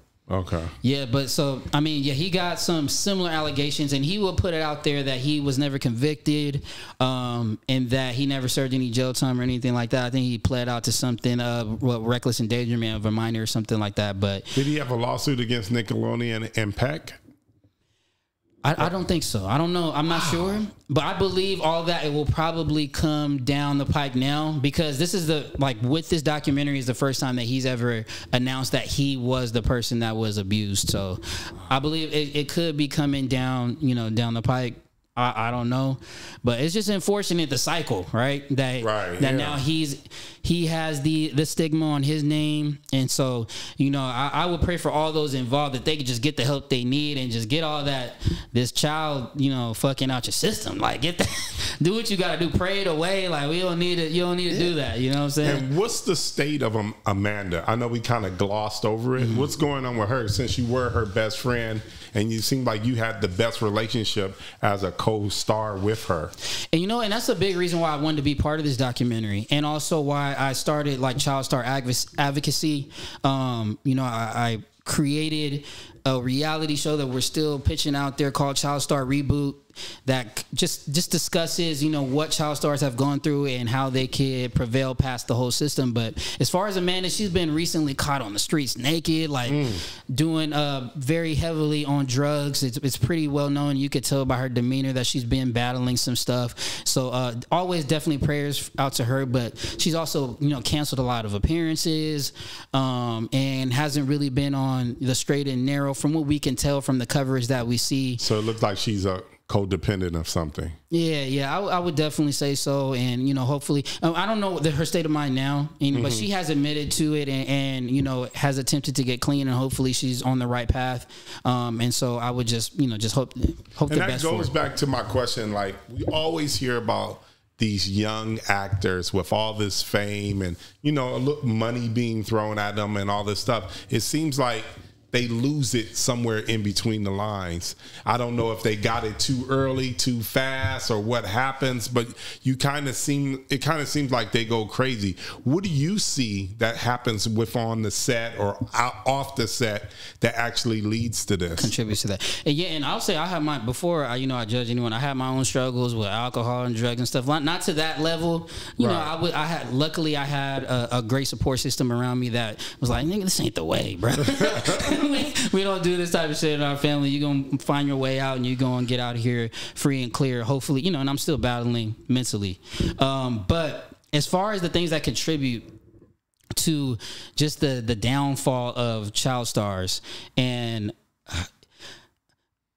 I I would say you know there's a lot of things, but to me the biggest thing is is getting all this money, power, fame that's given to you and sometimes undeservedly and it's given to you so easily and, and then you see it snatched away from you so quickly and the things that you do to cope to try to get it back or to try to get back shit. to the top of the mountain when you don't realize you peaked at 12 you might have peaked at 12 and you're on your way down is how do you how do you navigate the road down right? So i was able you know i was lucky like i said i had a support system that allowed me just to remove myself be a kid go out and clown and rap and do shit that people my age do. But if you're constantly on the hamster wheel trying to get to the next show man fuck that show man. Because a lot of it is, is in, within their power. You can't control whether they want to give it to you or not. You could be the most talented person. I've been the most talented in the room and because of my status or because i was on nickelodeon or because i didn't fit the framework that they wanted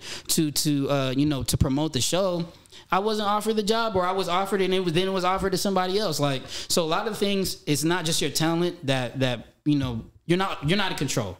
You're not in control, and so a lot of it is just to me trying to get that get that control. And once you realize you don't have it, these substances and these parties and all these things that that uh, allow you to forget all the bullshit and all the depression and all the sadness of not being at the top of the mountain just leads you astray. And so it really just takes a good support system or just a reality check you know that could get you on the like my mom just kicked me out kicked me out and was just like this is the road you're gonna be on and I was just like, damn, this shit is fucked up. Like, let me let me just get my shit together right quick because uh, no one's coming back to save me. You know what I'm saying? I think as a man, it's easy. Like, especially as a black man, it's a little bit easier to get that um, that message because it gets drilled into your head from the beginning. But you know, you one of these white kids out here that just no, no offense to you, Sorry, we No have offense of to white Offense, offense. Yeah, we yeah. kill all white people. offense to this guy. It's not a white friendly show. But, but I would say I would just say you know they might live a little bit more privileged life where you can do anything and you deserve this you know like nah man that you're not in control of the industry and you can't control who's going to give you who's going to offer you a job so it's great because now you can go create your own opportunities in this era right we're here and at an independent uh, outlet. You guys got your cameras. You guys can edit this shit up and put it out. We couldn't you can't do that shit back then end up on TV it's kind of there was no social media. There's no way to promote yourself. So you're really dependent on going into auditions hoping that someone offers you a job. If even if they do that you actually make it to the screen because you could do the whole project. And I'm like ah that shit was cool and we could put somebody else in it. So there's just a lot of factors I think. But mostly it's just trying to get back to the mountaintop that So drives it's the people whole crazy. thing of you being on top of the world, and then all of a sudden you being released, and you're that thirst to try to get back. I believe so man That's what it is. I believe so, and you're gonna see that the next wave is gonna be the social media stars. You know what I'm saying? Like for us, it was like I just seen uh, what was uh, hide your kid, hide your wife, Andre Andre Dodson or whatever. Right, right, right. He just got on there and was like,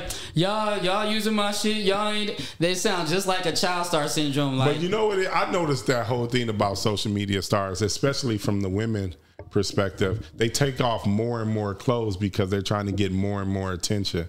So yeah, I definitely see that. And so with kids, and you know, and then there's also another part of it is that you know we were on Disney, we're on Nickelodeon, we have this persona, and I know this was definitely part of me and what I went through is like. Fuck, I want I want to dodge all that. I want to bypass all that. I'm me. I'm different. I could I could hang out with the kids. I could do this. I'm cool because even though like some people may perceive it as oh he was on Nickelodeon that's really cool like when you trying to hang out with like you know some th- gu- uh, thug, I was gonna say gangsters and thugs at the same time. Gugs and thanksters nah. But uh, you trying to hang out with you know the people that's doing some nefarious activity right? They ain't fucking with you like that. And I'm I'm, I'm kicking it with y'all. Like nah that's Nickelodeon boy. That's the Nick kid man. Go back to Disney and shit like right. that and so you want to try to shed that persona, and maybe you go off the edge, you go a little bit too far. Um, I would say that definitely hit the the black black kids more so, and where I see like you know some of the white kids is just. I, I would say more entitlement, or um, you know, just wanting to get back to the top of the top of the mountain. So there's different factors, definitely for sure. Well, going back with Brian uh, Peck, what do you think should be done with him? Because recently in the Was news, it Brian Peck? That was his name. yeah, Brian? right. Yeah, yeah. Yeah. Okay. Recently in the news, the the actor from X Men, the Laser Marsden, uh, Alan Thicke, Right. and Killam from um, from SNL wrote a letter. Uh, you know, a positive letter towards him for his release. What should be done with a person that has committed such crimes? Is he still in jail, Brian? Pe- Uh? I think, or he's just getting out. Okay. Um, I Who mean, the I, fuck wrote a letter for him? A bunch of a bunch of Hollywood You people sick motherfucker. said, "Hey, he was the greatest." And not saying that oh, it was okay what he did, but he was the greatest person ever. He, I never seen him do no shit like that, It's a and he would never. We had nothing but positive, uh, you know, positive picture, it's a experiences with Brian Peck. And I mean, obviously, the dude has a personality. He's kicking it with John Wayne Gacy. You know, you got to be interesting to get letters back and forth from that guy. But um, as far as what should happen to him, you know, I would just say that I'm not. I don't want to sit here and act like I'm God and I want to judge the guy. Like, 41 letters I ain't writing no fucking for letter. a I'll tell you that. pedo? Yeah, I ain't. I, 41 letters? and, and what's crazy is so What the fuck? some of the people from Boy Meets World, they they had tried to vouch for him, and they recently did a Not podcast. Topanga. Wait a minute. So, Topanga, Topanga. Topanga vouched for him, and, They came back and apologized and some shit. But um, God I mean- damn! Next Yeah, time I see you in the Topanga, Topanga Mall, I saw Topanga in the Topanga Mall one time. I'm gonna trip that bitch next time. You crazy? yeah. That cut deep for him. He's a boys meets world guy. Fuck, not Topanga. Yeah, you got to go check out that episode. They kind of walk back. They, um, you know, Damn, you better walk that shit back, They you walked it back. But no, I, I mean, definitely, he should definitely have no part in the industry. I mean, at the very least, um, Comes back straight to fucking straight to kid shit. I, I would say, yeah, just keep him away. Give him like hundred feet from kids. Like, Give you know what I'm him no feet Give him- from anything. Keep his ass behind fucking bars. Keep the feet, sick. the pickles to yourself. But bro. besides him, what about this fucking Jason Handy guy? Yeah, He's worse in my opinion. This motherfucker come with like two thousand child porno videos. He had little jars of kids like underwear and shit How in do you his even house. get kids draws? I don't know. And like a seven year old What the fuck kid's is go- underwear in He jars and shit. He was the one that was like PA. he was production he, he was walking them all to their he car was like and to the, the, kids, to the, the head of the kids. He was like the head of Like- the kids. anyone can take me back, but this motherfucker. Yeah, and he was the one taking them back. and and he was from Nebraska. I don't know. If he was I from believe. Nebraska. That I believe. That I I don't think he was from Nebraska. I don't want to say that. Well, are you from Nebraska? No, no, I am. they okay. But the the lady did say Jason Handy. I have this written down. Jason Handy. Damn, why, why the fuck did she say he was like a dorky white guy from Nebraska?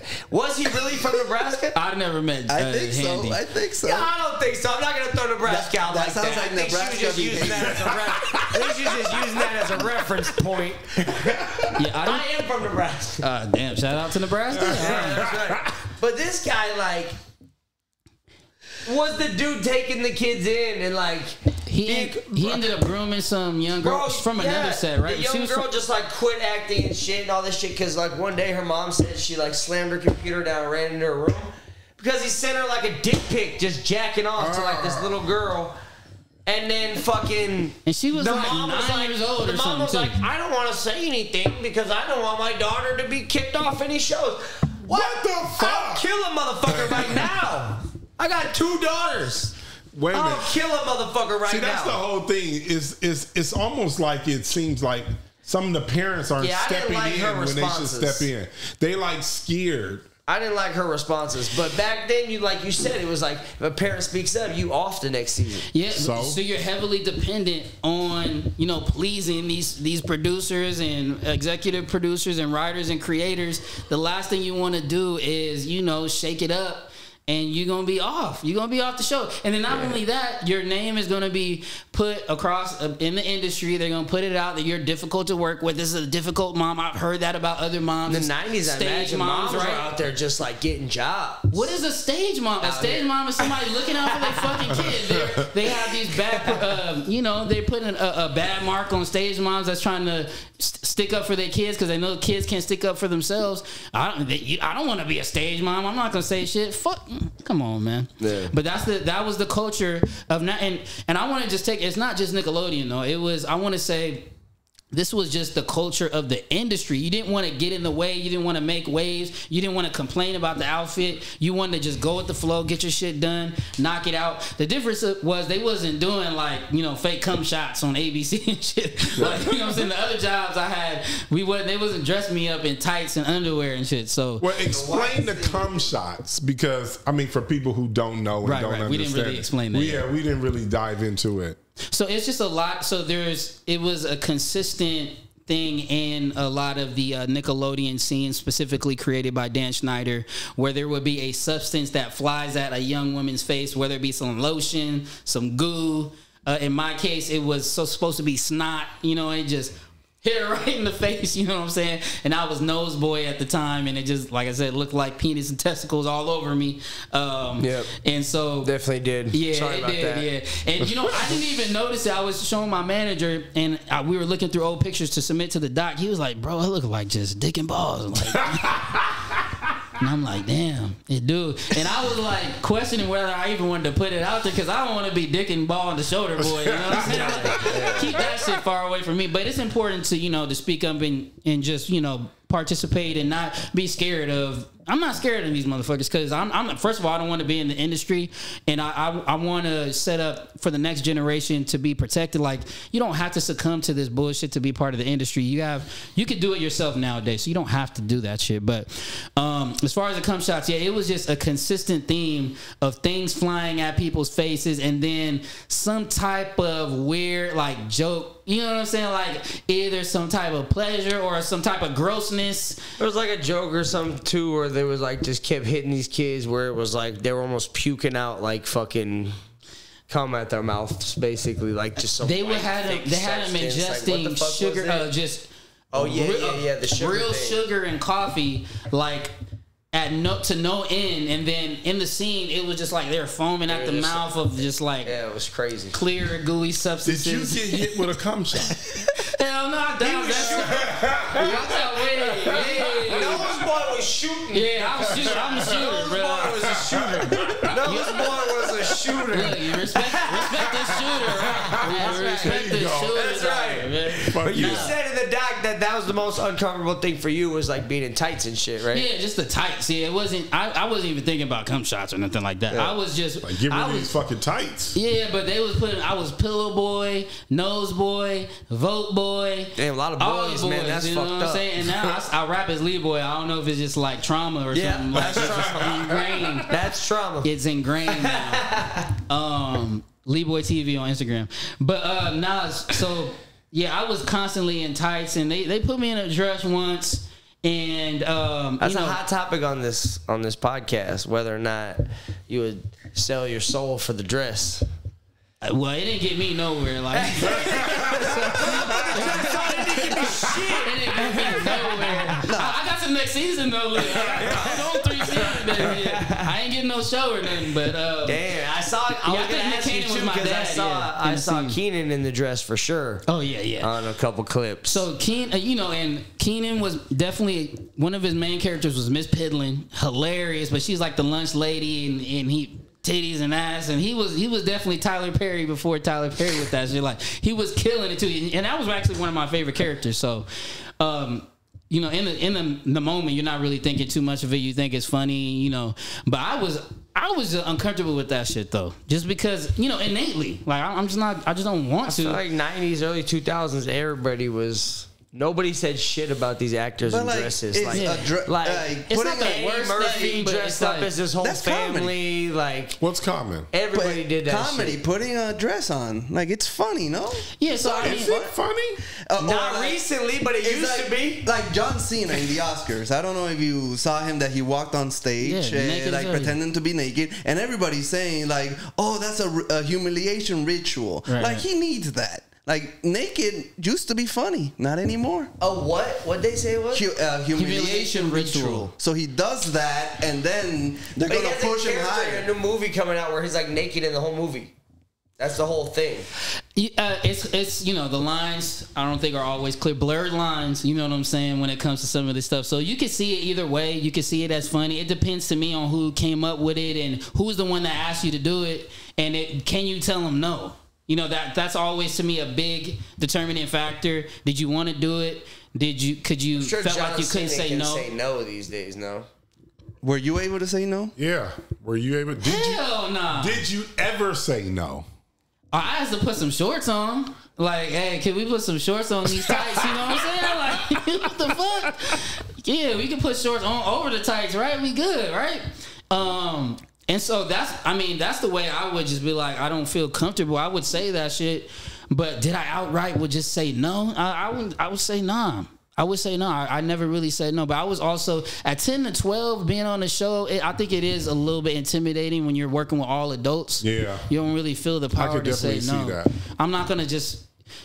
Yeah, I'm. I, it, it just it would be out of place to me, especially like when my upbringing is just you know having respect for adults and just kind of um, you know doing what you have to do. I didn't see it as like oh I got to do this to get a check. It wasn't quite like that. Like I felt so pressured, but it was just like you know I'm a kid on this set working with adults. I just do kind of what I'm told, and then if you know if a parent was there and they would it would it would be mostly up to the parents I would say to kind of So the step in parents there. never reviewed your script, or that wasn't even an option, or they already just said, "Hey, you're going to be in this scene, that scene, this scene," and they told you that. They never ever spoke to the the kid's parents or the guardian that may have been there. Nah, it definitely wasn't like a clearance with the parents type thing. Nah, it was Oh. just like you you get the script, you go through it. The parents ain't gonna see it till about Thursday when you're actually rehearsing it in front of everyone, and then you're already filming it on Friday. So there's a huge barrier to be able to like let's cancel all this shit and refilm it by, by tomorrow. It's kind of like impossible. You know what I'm saying? Like we already didn't worked on it. We already didn't clear the script. It's it's basically a go. The la- only power you really had is can we change this costume a little bit because you could just throw on something. Right. So there was you know some wiggle room there, which I did exercise as much as possible. And then same thing. I, I definitely seen Kenan and Kel exercising that shit. Like, hey, we need to we need to switch this up a little bit because it was just tights and dresses was just a thing. Like Ke- uh, Nick Cannon, he was in a dress. He had um. the convenience store with him and Kenan were two ghetto chicks with nails and shit. Um, you know, Kel did okra instead of Oprah. He was okra, and he did that for you know years and seasons. And so, um, and also, yeah, J- Josh Server, who was the, the longest standing cast member, he definitely had a bunch of uh, female uh, roles as well. And you know, it could be funny. It could be funny, I guess. But there's also females right there that could do the role and probably just be acting funny. It, the whole thing was it was a guy kind of dressed as a girl. Dan didn't think females was funny. Yeah, he was like, man, we can Said keep them in as, females are not as few roles as possible. So you you have children. Fuck no, they ain't doing it. If your kids wanted to pursue acting, Mm-hmm. how would you handle that? Well, they, they would have to be extremely talented first. We ain't doing it just because they cute and somebody want to recruit you and they, they think they can put you in something. That that ain't it. They would definitely have to show some amazing, some incredible interest. Be able to spit off lines like Amanda Bynes, like she was incredible, like she had an incredible mind, and I believe there there there was a better path for her. So I personally don't think my kids are that. just to be honest, they have some other talents like math and you know maybe sports and shit like that. So they, I, I don't see them, I don't see myself putting them into that, or definitely not forcing them into that. But if they had a, a great interest, I, I would definitely get them into the classes, cultivate their skills, and allow them to, you know, I would say closer to 15, 16, 17 if they, you know, continue. Let's see a let's see a, an elongated interest, not just I want to be on TV and make some money. That's that shit can, you know, it, it, it was with the wind. But in general, in general, it, I, I would never put that out there for them. And I've told them like, yeah, y'all ain't gonna be like Pop. Sorry, unless you, you know, unless you really want to do it and you figure it out, it, it ain't gonna be through me. I'm never gonna force that on them. So, or any really any any entertainment because it's, it's that peak. It's that peak that I talked about. I would hate to have them feel like they peaked so early in life and to be fighting to get back to the money, to the fame, and to all those things that you could just wait on and just live your childhood and wait on those things er, later on in life and get famous off your merit and your hard work versus just hey. For me, I just I feel like I was chosen just because I was a. a a badass kid that could cuss good. You know what I'm saying? Like I, I look I look like I had an attitude and I look like I could be a token at times. And you know, I could play those roles. Obviously, I wasn't cursing or all that, but a lot of times, like my main character, Leroy and Fuzz, I was just a badass kid that was talking shit. And so I was typecasted in that, and that's what they wanted me to do year round. And uh, that wasn't actually me; it's just a character that I could play. So, um, yeah, it's a little bit deep. But long story short, they ain't they ain't they ain't fucking with it. They ain't gonna fuck with it unless they go out there and and make their own skits, write, produce it, film it, edit it. All right, son, we gonna we gonna make sure that this goes to the right place and that you're in control of your own destiny. But that audition and shit is for the birds. Hmm. You just basically begging for a job. That being said, I was thinking about putting my kid in that acting school you went to. Yeah, Doing amazing the Grace? research, yeah, I went over to that thing and I was like, oh, it's like six hundred bucks. I'll put my kid in this shit. No, but that's training though. That's training. You know, they're not promising you nothing, and there's there there are some good things about acting that is uh, you know it definitely develops your brain, your memory, and um and there's a lot of positives to acting. It's just What'd the you think about that school? Because they said it was like speech and a bunch of shit. It was like I would recommend Amazing Grace Conservatory to anyone. Like I'm biased because I was there for from seven to eighteen. So and it, I, I came up under Wendy Raquel Robinson, which is uh, Miss Piggy on um, Steve Harvey show. Also Tasha Mack from the game. So she kind of taught me a lot about acting, also dancing, and everything about the entertainment industry. And also Denise Dowse rest in peace. She was on 90210. Uh, also she played the the um, the principal and Coach Carter. They th- those are some of the people that started the uh, that school, and they're all about kids and cultivating them. It's never about forcing them into the industry or getting famous. So I, I would definitely recommend anyone to that wants to get training. Just get just stick to training, stick to training until you can make a decision as an adult to actually pursue this because it's not pretty and it's not really that lucrative unless you're in the top 10%, right? Most actors are broke as hell. Actually, the top 3% probably, right? and that school like a non-profit. I saw and it looks pretty cool. Where's it at? That is right off Washington and uh, around Crenshaw in Washington. Josh saw the documentary and he was like, I cannot wait to put my kids into acting. Yeah, because I'll kill him. That's what you took away from all this shit. Because I'll kill a motherfucker immediately. I can't wait. And he just want he just want an excuse to kill somebody and be like, Yeah, I was insane. Man. I saw a dick pic and I blasted his I ass. wasn't insane, but I watched that documentary and I wasn't gonna let him go any You further. looking, you looking for an excuse to take somebody out, huh? Oh my god, that shit! I, I was I was wondering who was gonna get to that joke faster. I'm just trying to, Mac- I'm just trying to Macaulay Culkin my kids and take all their money. Yeah, man. I mean, if they have immense talent and there is just no denying it, I wouldn't want to. I wouldn't want to suppress that. Fuck that! You live in LA. You're gonna be an actress. Right, Fucking right. Kids, goddamn it, start paying your fucking your way around here. Start paying your fucking way around. I'm gonna be like Shia LaBeouf's dad. I'm gonna beat those motherfuckers till they get their acting skills right. Hey, but look, there should be more laws to protect. Against me? The kids from the parents. Yeah. no, but really the networks, you know what I'm saying? I believe there should be some more laws in place. And shout out to like Alyson Stoner. She was the kid that was in uh, Missy's video that was dancing around. She's she's actually got some laws passed in some other states that really protect children in the industry. And really, um, you know, I, I have. I have my hand in that as well. I hope to move forward and uh, really make some change for the next Is that why she ain't made no more videos? Who, Alyson? Yeah. Yeah. I don't don't think she had a problem with Missy. She had a problem with some other networks, not Missy. Though. She, Yeah, yeah, I know, she but, like- Missy, but She was on in everything for a minute. No, yeah, like she was on. I think she did some stuff is that the little girl Nickelodeon, with Disney. the Sia shit too, or who From was where? the who was the Sia girl? Ooh. That little girl that was in like every fucking Sia video. And then like she don't disappeared. I don't listen to Sia. Yeah. Hmm. Okay. Now, what about the money part? We haven't even dove into that. Like, w- was it worth it? And how often are you guys there? Are you guys there, you know, seven days a week, 10 hours a day? I mean, I don't know what the schedule is.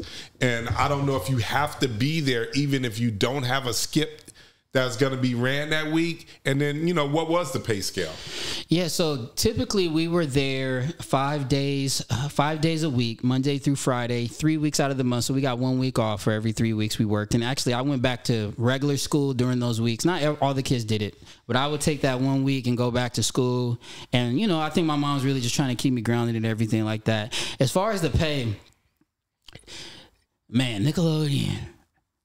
Uh, so I, I've, I call them Slickalodian. You know, I got I got a nickel and diamond shirt that I be that I rock from time to time. Um, Did you get a weekly check? What did it look like? it was like a per episode check, and Oh, wow. and uh, you know it was decent money. Uh, but not in comparison to the industry standard. So I believe we were governed by AFTRA and not SAG, and so they found a loophole there. And then you and what you find with Nickelodeon is a lot of the kids get they start on Nickelodeon, so they don't have a, uh, an extensive work history, nothing really to compare it to. You're a novice, and you're what do you look like turning down a, a industry job, especially as a regular on a show? Like Right. we I definitely tried to negotiate the pay. Uh, didn't go far, and we just accepted. Right, so it's like, what the fuck are we gonna do? What Um, was the pay? I don't know if you want to. I would say it's less. It. I'll, be, I'll keep it real. It was like two k an episode, two thousand dollars.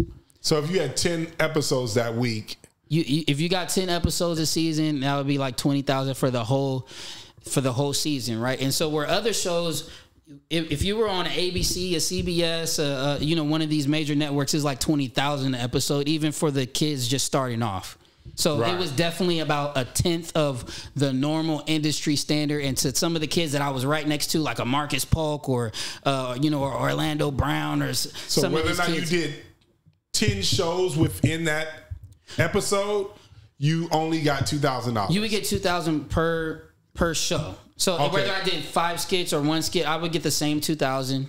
Damn. It, it went up a little bit, maybe to three thousand. Like towards the end, I did three seasons. We had like a little pay scale that went up. You know what I'm saying? But it so um And then they were like, it's getting too high.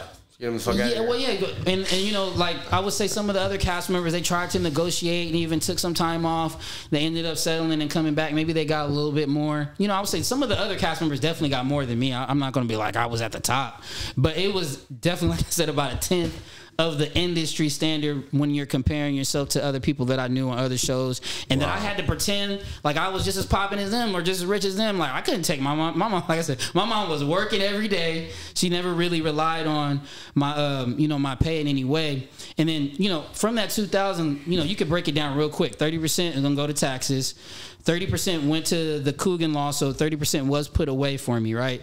Um, and so you're already at 60%. I had to pay an agent, a manager, that's another 10%, another 10%. I paid my my um my uh, on set, my Geraldine, right? She was my on set nanny, or she was looking after me. So that was probably another. Nickelodeon doesn't cover the, Nah, the ain't no expenses, you know. So that was maybe another ten percent, and then I just bought some Jordans, and that was that was it. I, I stayed fly, you know. I had some Tommy Hilfiger, But it some had to be Fubu. dope going back to public school because Oh, you was yeah. famous as shit. Yeah, I You was the- famous. you the most popping dude on campus. Just met Ice Cube, you know what I'm saying? Had the new J's on. So that part was that part was fly, but in reality, we didn't have the big house and shit. Like there was other kids though that didn't realize that they was way more popping than me. Right. You know what I'm saying? I just could. I knew how to freak it. I knew how to do it from day one because I was just had the swag like that. You know what I'm saying? Like that's what got me on the show. So they looked at me that way, but in reality, I was struggling or just the same as any other kid that had a pair of Jordans. You know, it was just a pair of J's. Like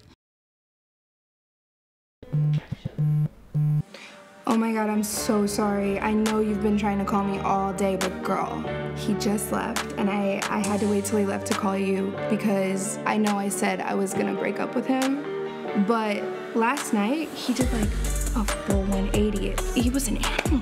Where did this come from? Because you know, I've been telling you, it's been like kind of dull and like something changed. And I don't know what his secret is, but I'm trying to find out. Shh. His secret sword vitality. All right, so you know, the getting slime thing on Nickelodeon is like classic. Yeah, of it's a staple, time. yeah. Like celebrities used to, it's like you know, they probably got pictures getting slimed hanging around their house until this shit came out. Now they're probably gonna shut take that picture down. But uh, you know, that shit's classic. And you were on a like a spin-off show, right? Fi- figure it out. It was yeah, figure it out. Figure And it out. was It's a game uh, show where it's all about getting slimed. Yeah. Everybody getting slimed over and over. Um, I mean, speaking of getting slimed and people taking their picture down, Halle Berry she got slimed at um, Halle the Berry Kids was on Choice the Award. show? She no. No, no, she got slimed to the Kids Choice Awards though, Yeah. which was the Oh, okay. Nickelodeon's, uh, you know, their award show. And Drake put it up. She asked him, "Can you take that down?" Because it did look kind of like she got slimed, yeah. but um, She got slime. She got Don't take it down, Drake. but um no, on, on the show, on Figure It Out, it was definitely like a rite of passage, like to to make it from a Nickelodeon show to Figure It Out, because it was like all the best stars from Nickelodeon. If you got to get to Figure It Out, it was like, okay, you actually making some noise on the network. We want to see you somewhere else and test you out. Now, I only did three episodes, so I don't know if they was rocking with me. they tested me out real real quick. Um, but yeah, I got slimed on there. I think that was the only time I actually got slimed. We didn't do too much sliming on all that. It was always some other substances, like maybe some chocolate or something crazy. You know, they had Randy Mandy, and but um, we we definitely got messy on there. Were you there when we were doing the Fear Factor stunts? Nah, the the, the, uh, the on air dares. Yeah. hell no, nah, no. They did a lot of sliming, and uh, my guy my guy Bryan Hearne got covered in chocolate, and they licked. Uh, they had a million dogs come out and licked all Yeah, the chocolate. Yeah, peanut off. butter. Yeah. That sounds terrible. And he was And like, he was "Why on there is- saying- yeah, he was saying, he "I don't like, wanna I'm do so this." uncomfortable, like in the show, like please stop it. he was saying I don't want to do this in the show, and they kept Yeah. that in the damn show. And you know, I think it's it's kind of fucked up because they're paid to be professional actors, and you got them doing Fear Factor shit. Like, you know, they I think they put scorpions in their mouths and it's weird shit. Like, I'm a professional actor. Like, that's that's just kind of weird. But um, yeah, getting slimed, I would say.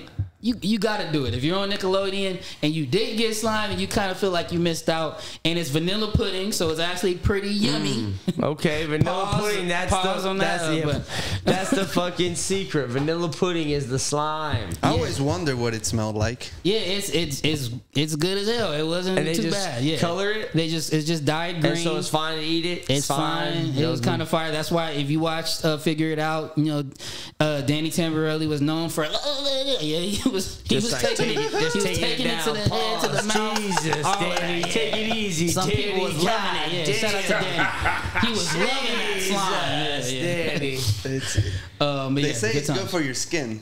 yeah, yeah. take it easy, Alejandro.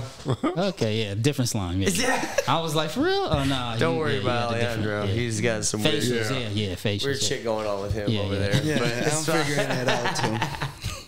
Favorite skits, man. What was your favorite skits you were a part of? I or- mentioned uh, CJ and the Cloudy Nights. Um, you know, I loved the attention that I got one from Wyclef, and then I got to show my singing and dancing ability. You know what I'm saying? That was really one of the main intros that I had into the industry. Was just I also like to sing and dance on top of my comedic timing, and so I always say that was my favorite. Uh, Leroy and Fuzz, um, you know, I did, a, I want to say about 15 different iterations of that. Um, and so it, it always felt good to have my own character, have my own staple, and uh, something for people to really remember me by. So I always, you know, hold that in high regard as far as them, and um, thankful to the writers. You know, they they they, they might did some bad, but they did some good too, right? They wrote me in and, and allowed me to, uh, you know, really shine in that character. So I'm was always that the thankful one for that. you had one with Kel, right? Where you were like, Oh, that's a good one too. What was the? Uh, that actually, that's a good one. I could also name that as a favorite. So that was Repairman and Repair Boy, boy, Yeah. boy, boy, boy. So I was another boy. he wasn't in tights though. I had overalls. I was covered up in that Oh, one. But um, you know, repairman would come in and he was supposed to be repairing shit. He always fuck shit up. So, and so they allowed me to come in. We like literally fucked up a Volkswagen Bug. Like somebody had stopped on the side of the road as Lori Beth and uh, Danny Tamberelli, and so they was like, "All right, we just need some gas," and we like we ended up fucking up the whole vehicle, took it all apart, and so uh, you know stuff like that was is why I wanted to get on the show Yeah. because you know being able to just destroy sets and you know just act silly and act wild and really improv and them catch it on tape is the magic that happened on all that What was the first time? What was the first time you were on set and like kind of nervous maybe, or because you said you was watching Kenan and Kel on the show before you even joined? What was the Mm-hmm. first skit you were in with them, or were you nervous for your first skit with them, you know or was it even like that? You just like went in and killed it. I think I think for me, you know, um, I was more nervous probably in like rehearsals and like table reads. Um, but when the audience was there and when the cameras was on, I think that's when I just I'm able. That's where I'm most natural. I'm able to let loose and really just hop into things. Um, and so I, I never really remember honestly being nervous unless I was Unless Dan Schneider was looking over my shoulder. no, because literally, like, um, you know, he was a big part. I believe he may have created Leroy and Fuzz, and his voiceover is actually in the beginning. Um, and so sometimes he would come down and watch, and Brian Robbins as well too. And so when they were on set, he was the executive producer of the show. When they were on set watching me do my my shit solo, I sometimes would get nervous because it was just like the big dog was there, and it's just me, and it was a puppet. It was kind of like Sesame Street, and we would like battle. And so there were times where I was like felt the pressure to perform, but in general, like especially if I wasn't like the main focus, I did a lot of um, you know supporting roles. That shit was a breeze, man. I, I love being in front of an audience, so that's where I felt most natural for sure. Nice, dope. So overall, you had a great time at Nickelodeon. Yeah, I mean, You kind of missed the miss what? What? missed miss the what? documentary gap of the weird shit. Yeah, yeah. I would say you know, I would say I, I just noticed the politics. Yeah. I just noticed that I wasn't getting chosen. I'll be honest with you. I like, I was like, hey, Kenan and Kel, man, they got the same management. They over there chummy with Dan and some of the executive producers. I, you know, I wish maybe I had a manager or a representative uh, representative on set that was like pushing more towards uh, towards that. But maybe it was for the best, right? That I wasn't so involved and that I wasn't being chosen in that way. So you know, I could be thankful at the same time. But overall, you know, I had a I had a good time on set for sure. Um, you know, and it was one of the best shows of all time, especially kids shows. So I didn't notice a lot of the things that I went through until later on in life. And looking back, like I said, in 2020, I started seeing the viral Dan uh, footage and shit. I'm like, damn, this shit was crazy. I was part of this, but I wasn't thinking about it in that way at the time. And so, you know, mostly I was very grateful, but also wanted to be an advocate for child stars. Just make sure they're on the right path moving forward. So Kenan and Kel didn't go through none of this, or like you don't. It, it- there are no a- accusations only against the one guy so far, right? Is that all that's going on, or how many people were involved, or how many people did it go down to? Like, I, I believe there's some more stuff that that could be uncovered, and I believe that there are some cast members and um, you know child stars in general that don't want to be in the bad graces of Nickelodeon, Paramount, Viacom, and all those you know the big Big I'm companies. Kel, man, because. Kel seemed like he liked the Nickelodeon Chris Tucker, Right. he was just like fire and then just like lost it. Or like something happened and wouldn't like, you wanna flipped hear- the switch or like what the fuck happened to Kel because he was fire. I would want to hear what He happened, was- how he how he felt about it. You know what I'm saying? Um, whether he chose to go away or whether he, they had an opportunity that that he didn't want to move forward with, or maybe Kenan didn't want to move forward with, and they had a split. Like the story hasn't been fully tone, uh, told. I think they have like kind of hinted at what things that have happened. Um, but you know, I just hope that more people would come out. Uh, and it's not like to be a tell-all. It's just like as a cautionary tale for people coming up in the industry. Hey, this is what to look out for. This is how you navigate. Do the best for yourself and for your family. And um, you know, I just want to hear more of those stories. And um, you know, in general, I want to take it off just Nickelodeon because you hear some of the same stuff about Disney and like I- I'm not I'm never gonna boycott I- I'm not a boycotter you know what I'm saying? So I could tell the truth and just speak you know just speak you know from from the heart.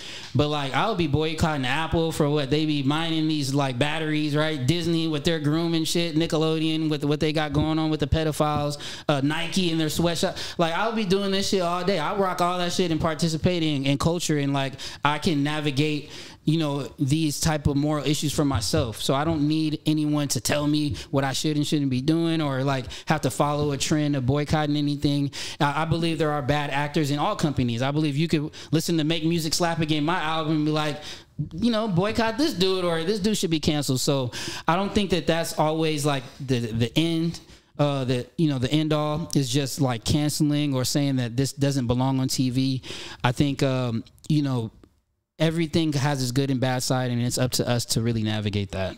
How do you see the industry now as a post Weinstein? Well, you know, after all that news broke, you mm. because I feel like the film industry, the entertainment industry is similar. Like you know, like the police. Like there's a blue wall where you know things usually they they stay silent. Do you think it's gonna go back to that where you know power corrupts? Or the re- the right regulations are being taken care of, so that doesn't happen again. I believe everything happens in waves. So I think right now we're in this wave where everyone's exposing and uh, like we just seen what happened with Taraji and she and she came out and talked up against Oprah and then what, what she noticed is that she basically canceled her own movie. You know what I'm saying?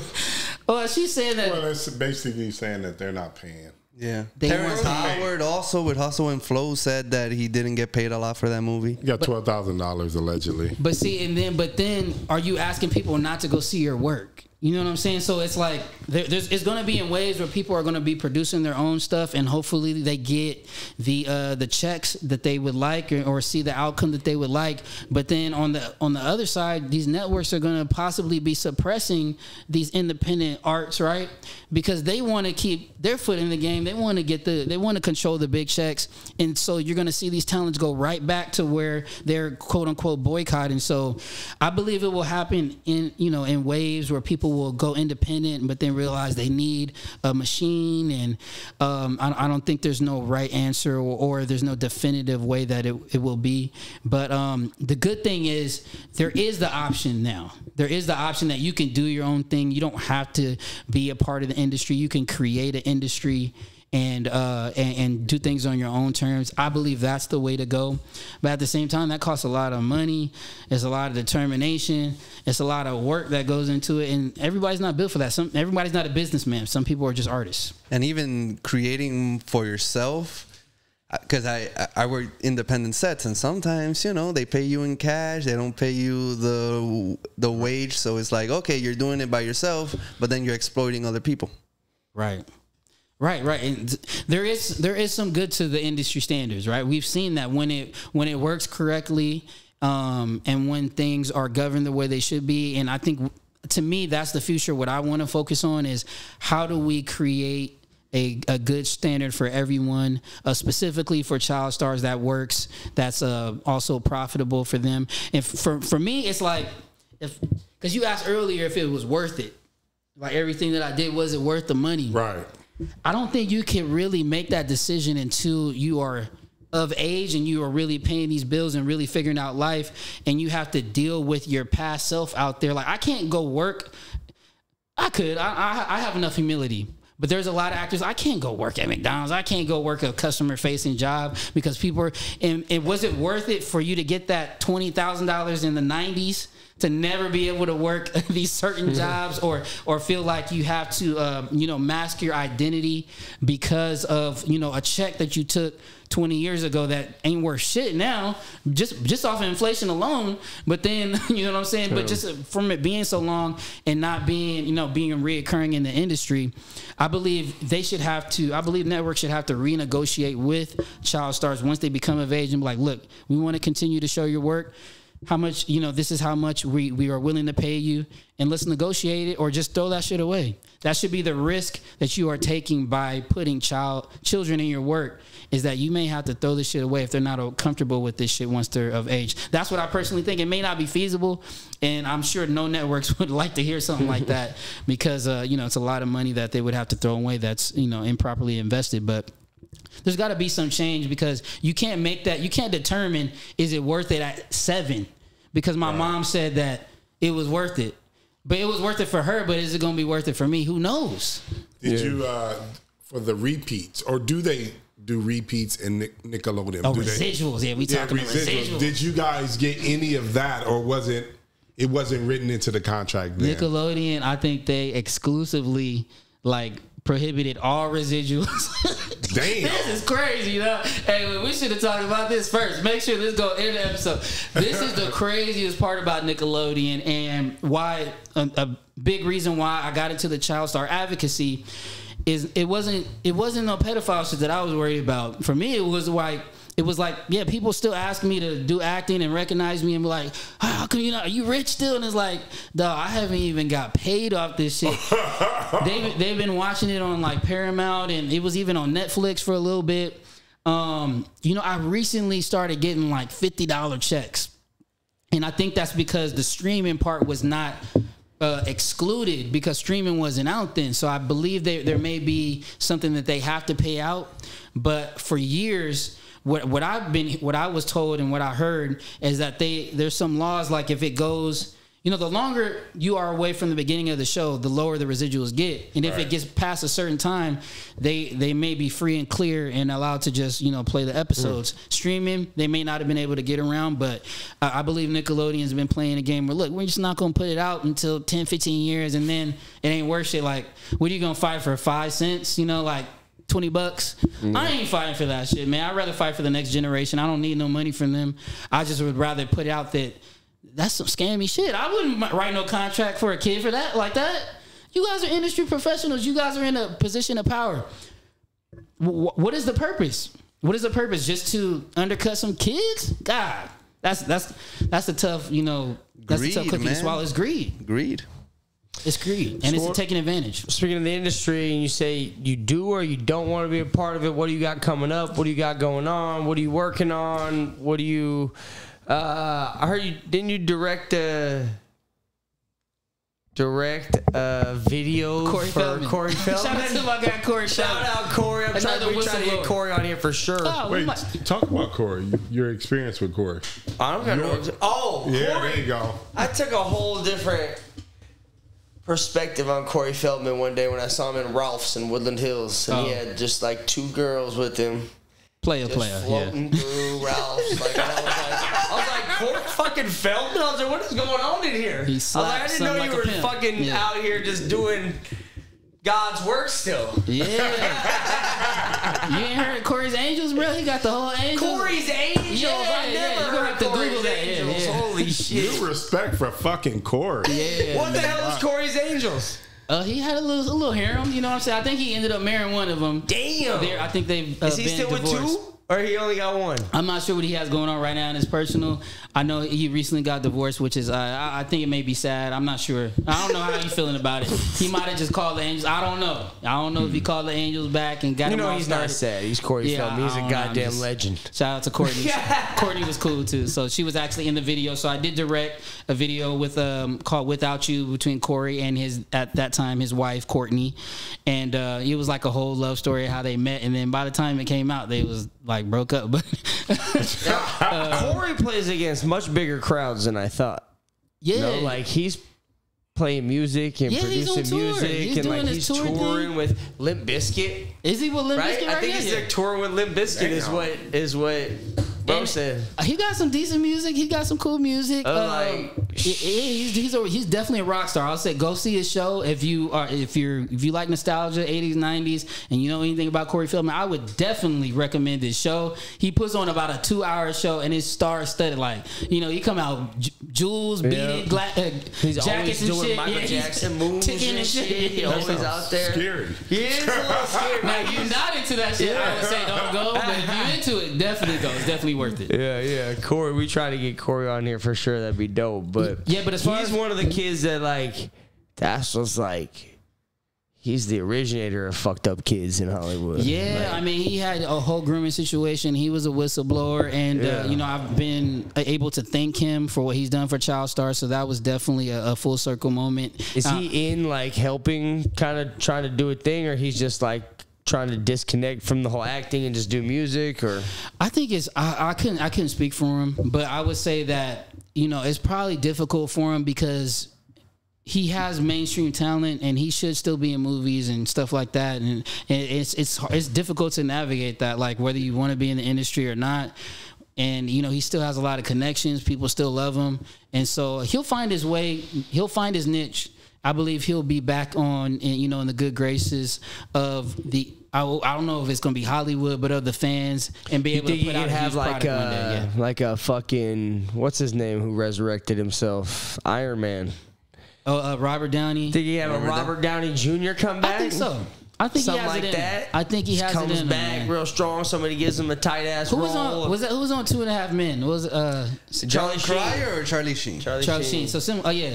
I think he Something could, like that? I think he could do show either like one that, of something those. like that. Yeah, I think he'd he could be a definitely be dope Sheen with or something Robert like that. Downey. I would love to see that for him. He's a great dude in person. And, And he's- what about you, man? down. You coming back? What's up? 80s, 90s, and 2000 vibes. The podcast, also the network. Actually, we were number 50 on Entertainment Podcast this past week. So That's dope. we uh we're moving on up, and uh, Damn, we had to take you out. Yeah, it's cool. You know, we can head to head. I love a little competition, man. So, uh, but nah. So uh, I'm, I'm definitely podcasting right now, um, and you know that's. I like to be myself versus trying to get back into acting or you know putting on these costumes. You know, I, I may look uh, take up uh, voiceover work. Maybe we'll see. Like anything that doesn't isn't too forceful on my home life or you know or on the things that I don't want to be in in the front of the camera too much. I, while Are I'm your right kids ever like, "What's up, Dad? Why are you still acting?"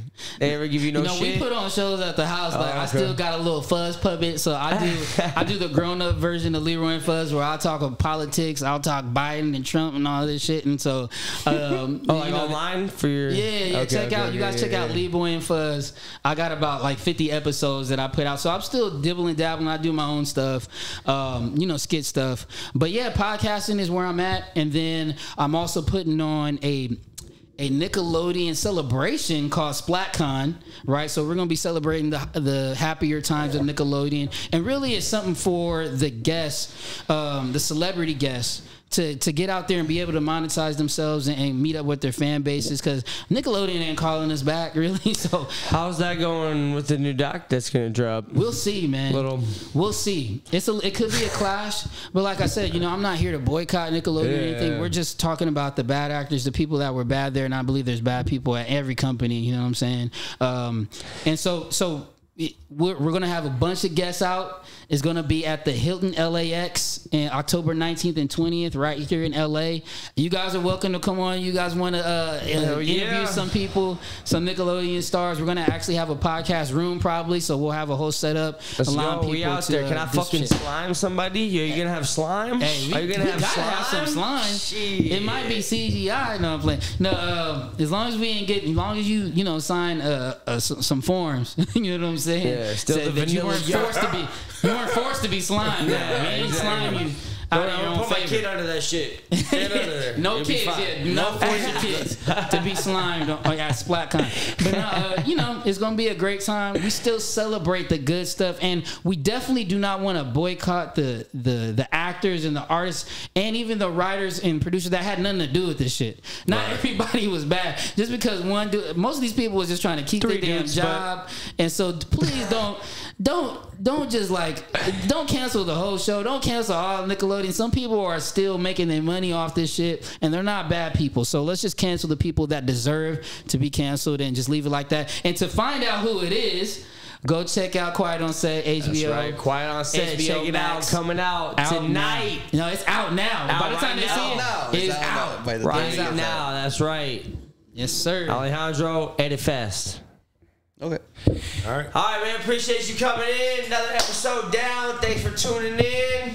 That's fucked up. Damn.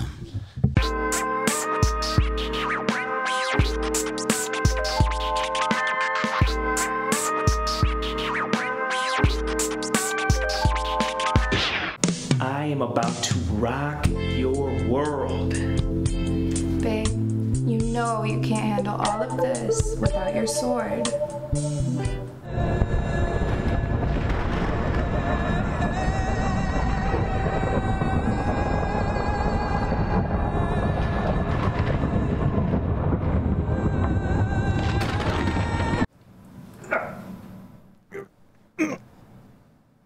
I swear this never happens. I guess I'll just text Lancelot. He never has this problem. No, I am King Arthur. I was worthy of Excalibur, and I'm worthy of sword vitality. Now that is a sword fit for a king. But do you know how to use it? Become a better man with sword vitality.